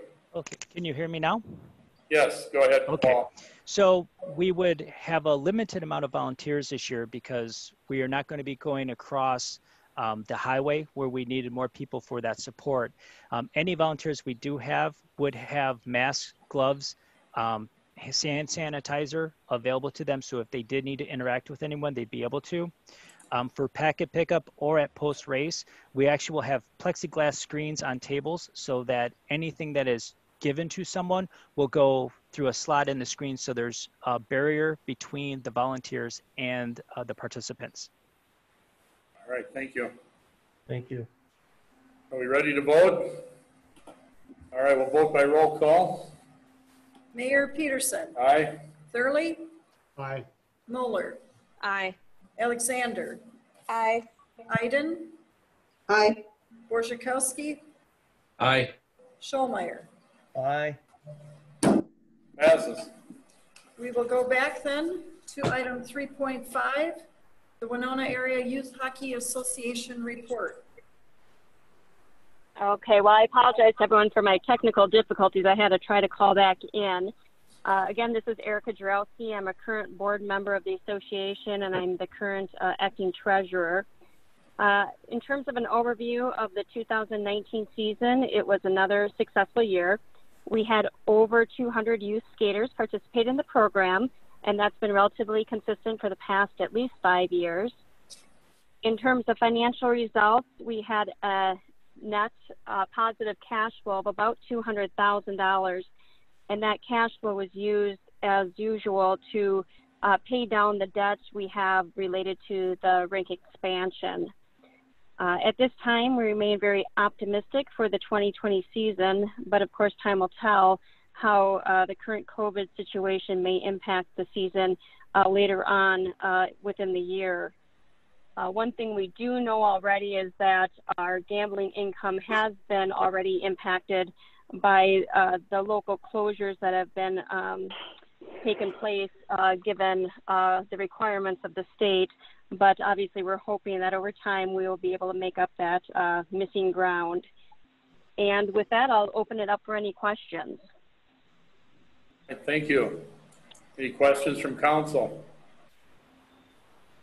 Uh, Councilmember Schollmeyer. Go ahead, Paul. Uh, Eric, uh, just wondering, are we in year uh, two or three of the outdoor rink, and I'm wondering how that has been uh, doing and and how uh, its its use is coming along.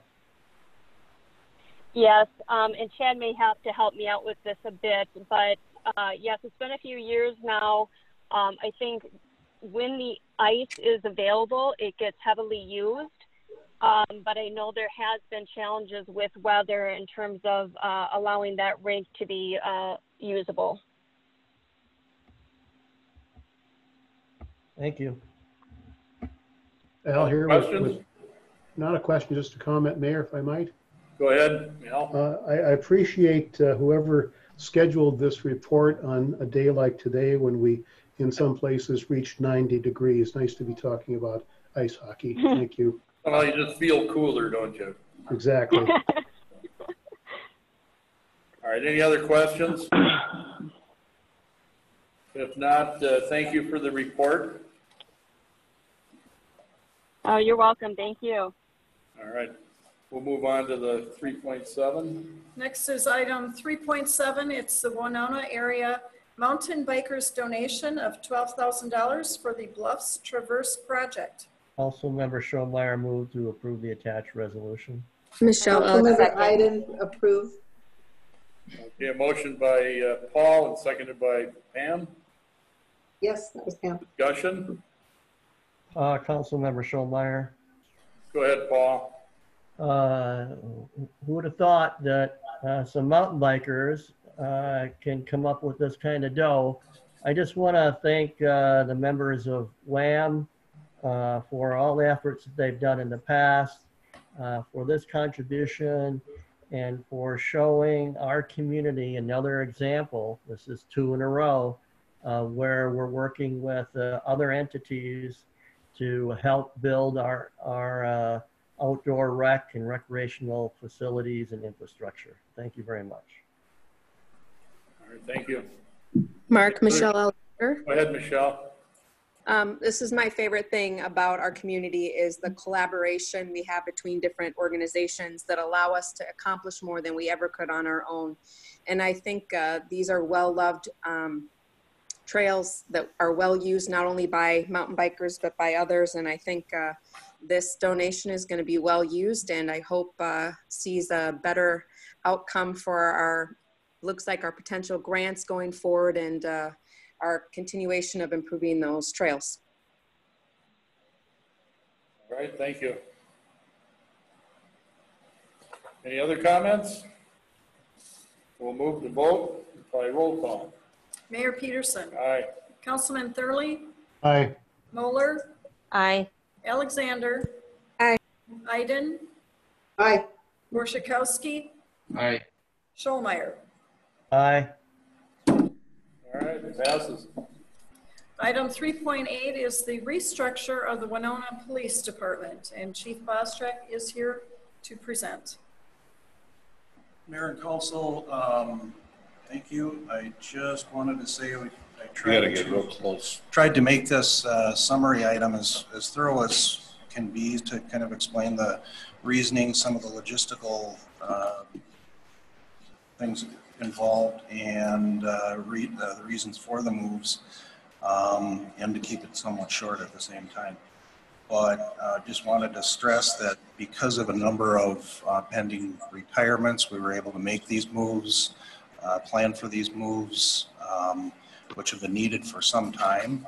And um, wanted to stress that the impact on the budget will basically be zero, if not a positive, will be a positive actually because of some of the overtime um, that sergeants are basically because of the nature of their job forced to work and it will give us some, some better oversight for the department, which uh, I believe in, especially in these times, is needed as well.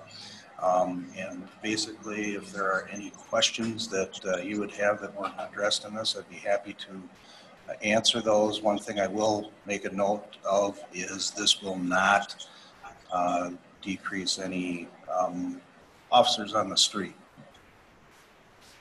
So any questions that I could answer, I'd be more than happy to. Al, Al, uh, here. Go ahead, Al. Uh, This, this continues the uh, uh, community officers that uh, have been so successful in the past few years, haven't, won't they? They will continue, absolutely. We've, we've seen um, the benefits from having those and we'll continue to do everything we can to keep those active, yes. And I'm, I'm glad we had a chance to do this before all of the other concerns about police officers uh, arose. And I think it's a good program and uh, I agree with the uh, reorganization as presented. Thank you. Any other comments or questions? No Mayor, action uh, needed on this item. Mayor George here. Go ahead, George. Yes. Uh, thank you, Chief. As I talked with you this morning about that, to can, you know, that will still be at full strength out on the street. And with, uh, uh, the community outreach officers, I know just firsthand from, uh, serving on other boards that it's definitely brought a very positive, uh, uh, attitude towards, uh, towards some of the areas that they work in. And as you return to the station tomorrow, just tell all the women and men down there, uh, they do one heck of a good job and we really appreciate it and support them. I will certainly do that. Thank you and appreciate that. Any other comments or questions for the chief? If not, thank you very much for your report and for being here tonight. We'll move on to the next item. Under new business, item 5.1 is the downtown revolving loan fund. Uh, I'll call on uh, Lucy McMartin.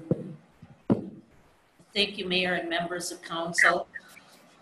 Uh, The city has had a downtown revolving loan fund for many years. And as you know, recently, the council approved the downtown strategic plan. And one of the suggestions in the plan, one of the quick wins that was mentioned, was to take a look at this program to see if it could be modified and better used. So what we're proposing is a minor change, uh, but we think it will have an impact. Uh, Right now, we support 50% of a project up to $40,000 and we'll continue to do that. Previously, a quarter of the city loan could be deferred if you own the building five years, and now it will be half. And instead of paying the city back at a 2% interest rate, we're proposing a 0% interest rate. So we think that these changes will uh, help participation. We haven't done a loan since 2017. Um, We do have a balance in the fund of approximately $175,000. So we think uh, through the implement, implementation of the downtown strate- strategic plan that this step uh, will help support uh, those goals approved a few weeks ago. I have a question, Lucy. Um, In your comments here, it says that, it talks about the federal requirements and SHPO review on some of these projects. Would SHPO review no longer be required for uh, uh, the loan? No, uh, mayor and members of council, all of the federal rules will still apply. Um, and that has been part of the hindrance of using the program is, uh, so we would continue with historic review and with Davis Bacon wages. But again, just making it a little bit more attractive. Okay, thank you. Any other questions, comments? Motion? I'd make a motion to approve Michelle Alexander. Eileen, Okay. I second. Motion by Michelle and seconded by Eileen. Any more comments or questions? If not, we'll vote by roll call. Mayor Peterson, Aye. Councilmember Thurley, Aye. Moeller, Aye. Alexander, Aye. Eyden, Aye.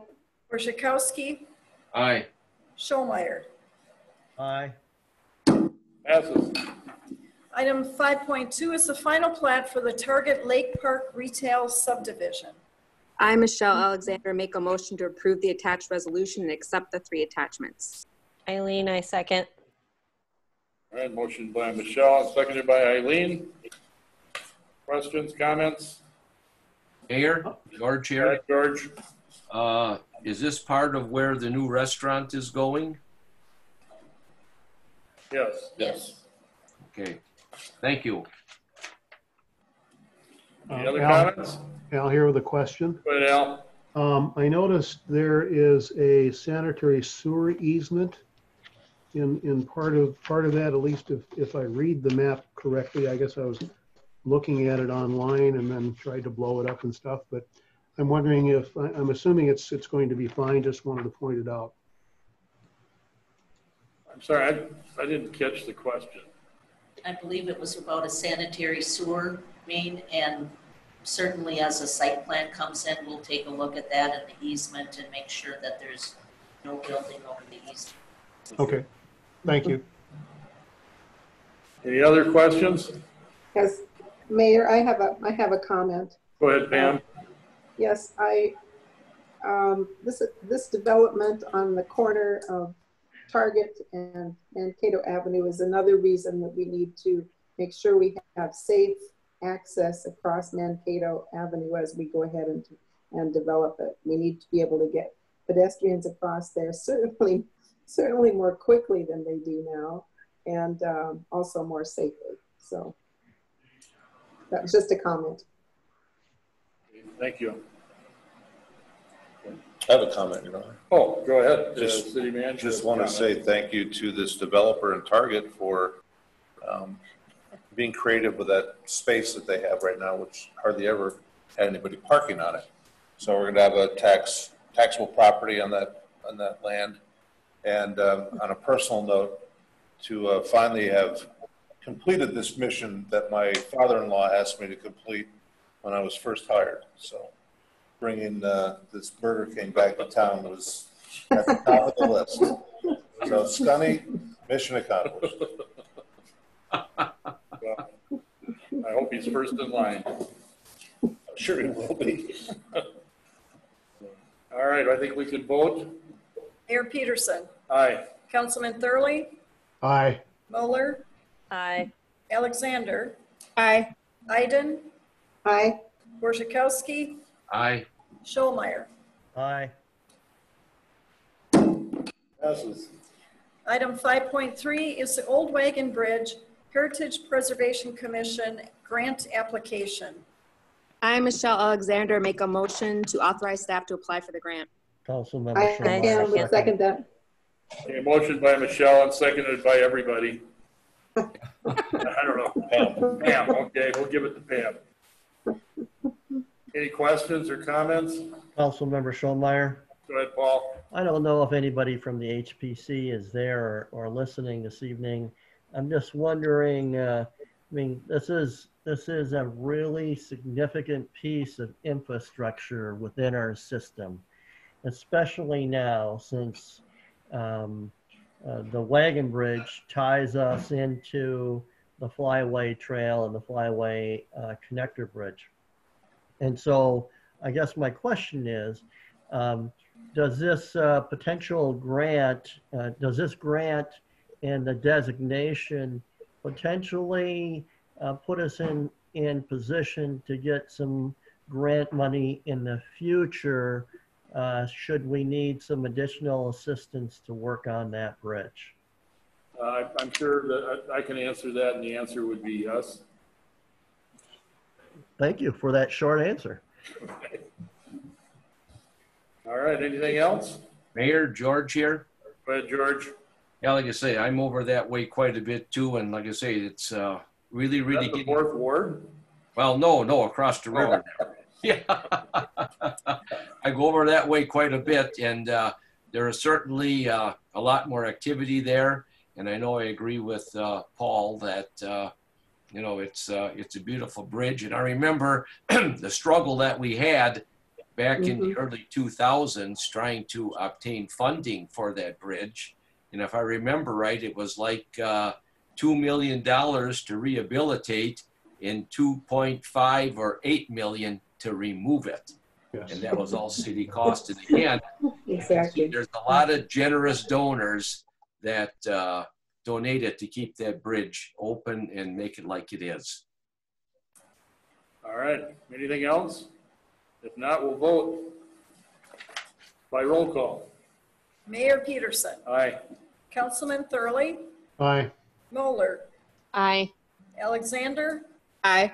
Eyden, Aye. Borzyskowski, Aye. Schollmeyer. Aye. Carries. Item 5.4 is the appointment of election judges for the 2020 primary and general election. I, Michelle Alexander, move approval. George seconds it. All right, a motion by Michelle and seconded by George. I would just like to thank all of these people for being willing to, uh, to serve as election judges.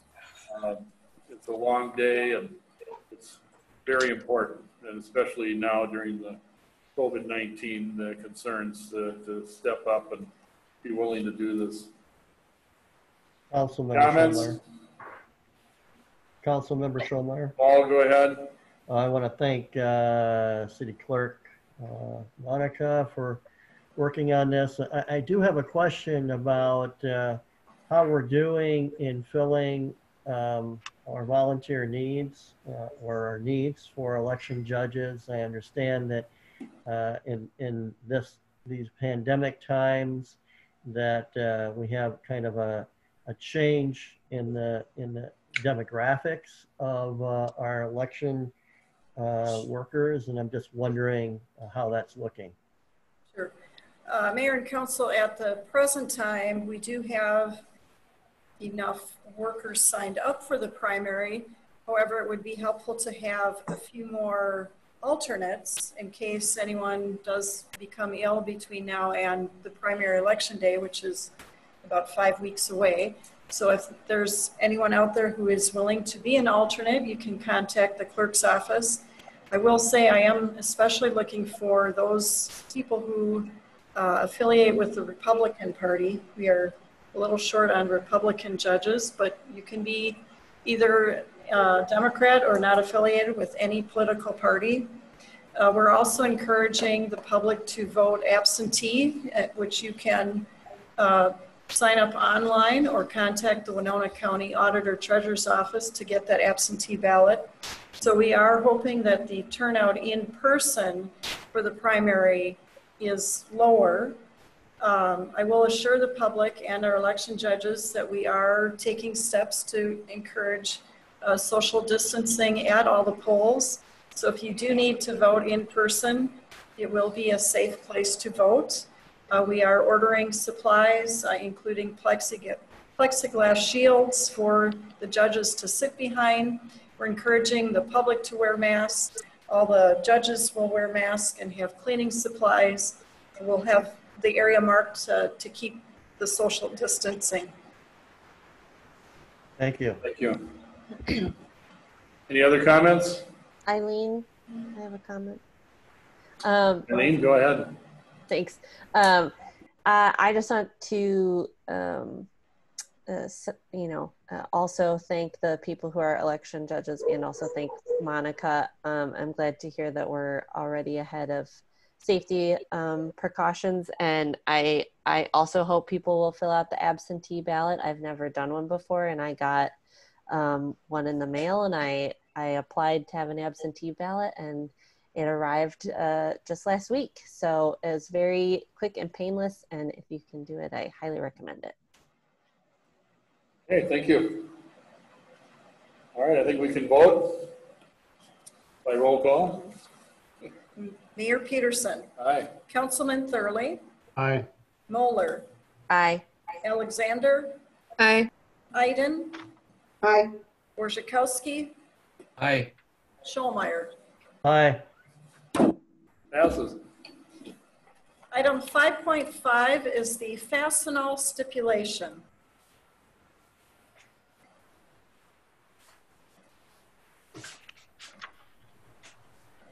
I'd make a mo- motion to approve the request. Eileen, I second.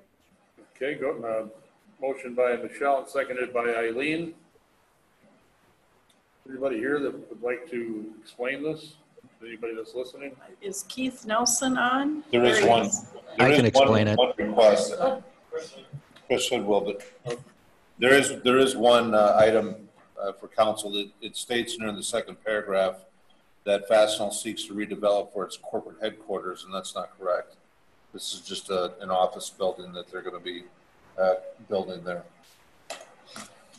Okay, thank you for clarifying that. I had underlined that myself. Did Chris want to say something? Yeah, just very briefly. Good evening, Mayor and Council. The, the reason for the stipulation is that Fastenal is, uh, has filed with the district court a, um, an action to re-register land. They're in the process of uh, consolidating the land for their downtown office building. Uh, some of that land is abstract property. Some of that land is Torrens property. They want to make all the abstract property Torrens property. And so they, in March, they filed a legal proceeding in district court to do that because that's the way you have to do uh, re-registration of land for Torrens property. Uh, both the port and the city of Winona um, are listed in that action. And so um, the original plan was to just have legal count or have staff look at it, determining whether or not there are any issues. And if there wasn't, then legal counsel would submit uh, a letter response of no objection to it. Staff has looked at it. There has been no objection. But in the meantime, um, uh, Fastenal has determined that there's another issue that has to be dealt with, and that's what the stipulation involves. There's a line that HBC uh, has with respect to uh, their cable line in the area, and it part of it's in the um, the city's utility easement, and part of it's not. Fastenal would like all of it in the utility easement, so they're going to expand the width of the utility easement. So the purpose of the stipulation is so that HBC, the city of Winona, who uh, is the one that owns the easement, um, and Fastenal would enter into a stipulation basically saying that uh, this is the new easement area, and then that would be filed with their original application, and then ultimately the district court would um, issue an order, and that would become the uh, uh, the final action. Thank you, Chris. We ready to vote? I, I just have an observation. Okay, go ahead, Al. Um, I appreciate um, uh, them having this uh, before us because I didn't know what a Torrens system property registration was, looked it up, and um, you know it's it's versus an abstract, which is something I didn't know, and it was first developed by Sir Robert Torrens in 1858 in Australia. So there. Thank you, Al. I think we're ready to vote. By Mayor, roll call. Mayor Peterson, Aye. Councilman Thurley, Aye. Moeller, Aye. Alexander, Aye. Eyden, Hi. Borzyskowski, Aye. Schollmeyer. Aye. Passes. Item 7.1 is council concerns. We'll uh, start with the first ward, Al Thurley. A chance here to unmute my uh, microphone. Um, Just reminder, coming up is our primary election, as our clerk indicated, for election judges. And I believe uh, in the not too distant future, the uh, uh, League of Women Voters will be conducting a candidates forum. So uh, everybody's encouraged to uh, take advantage and learn something about the candidates you'll be voting on in the um, primary. And I've also um, received some uh, correspondence from folks who are still interested in seeing the aquatic center um, looked at again. And I, I, I'm assured, I guess I would assume anyway, knowing the park rec- recreation staff and how hard they worked uh, last meeting, that uh, they, they are continuing to look at ways perhaps to uh, open the pool, the aquatic center. Um, one of the suggestions the individual contacted me said that in order to give fairness, that we create an online or a or a telephone type registration system for swimming. Um, and another is to uh, look at other income sources, potentially partnerships or sponsorships for the aquatic center to help offset some of the costs. And uh, I think uh, those are something to be considered, and perhaps the staff has already done that, but I'm just uh, encouraged by uh, the community response to uh, still express interest in having the aquatic center open. I think as do, do all of us who were reluctant last meeting to have it closed. And also, I think we got a note uh, too that uh, we all need to fill out our census forms if we haven't already. Thank you. Thank you, Al. Eileen?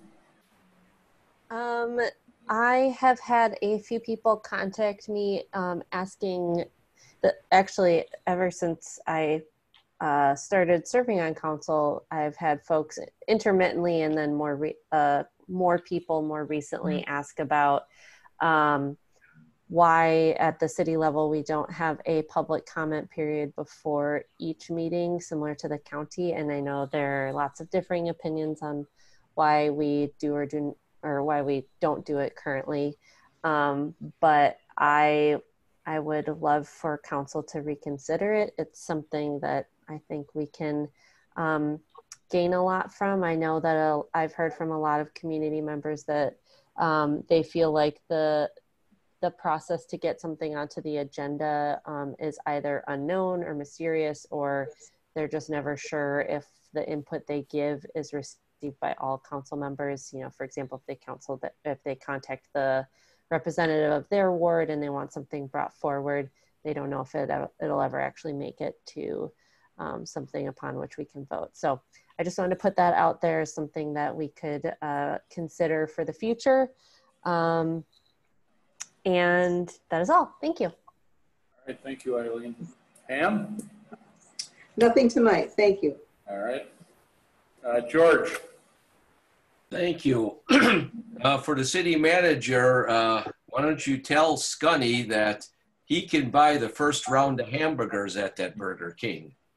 I think it's going to be me. Oh, okay. Well, make sure you kind of get your list together of who you're all going to buy for.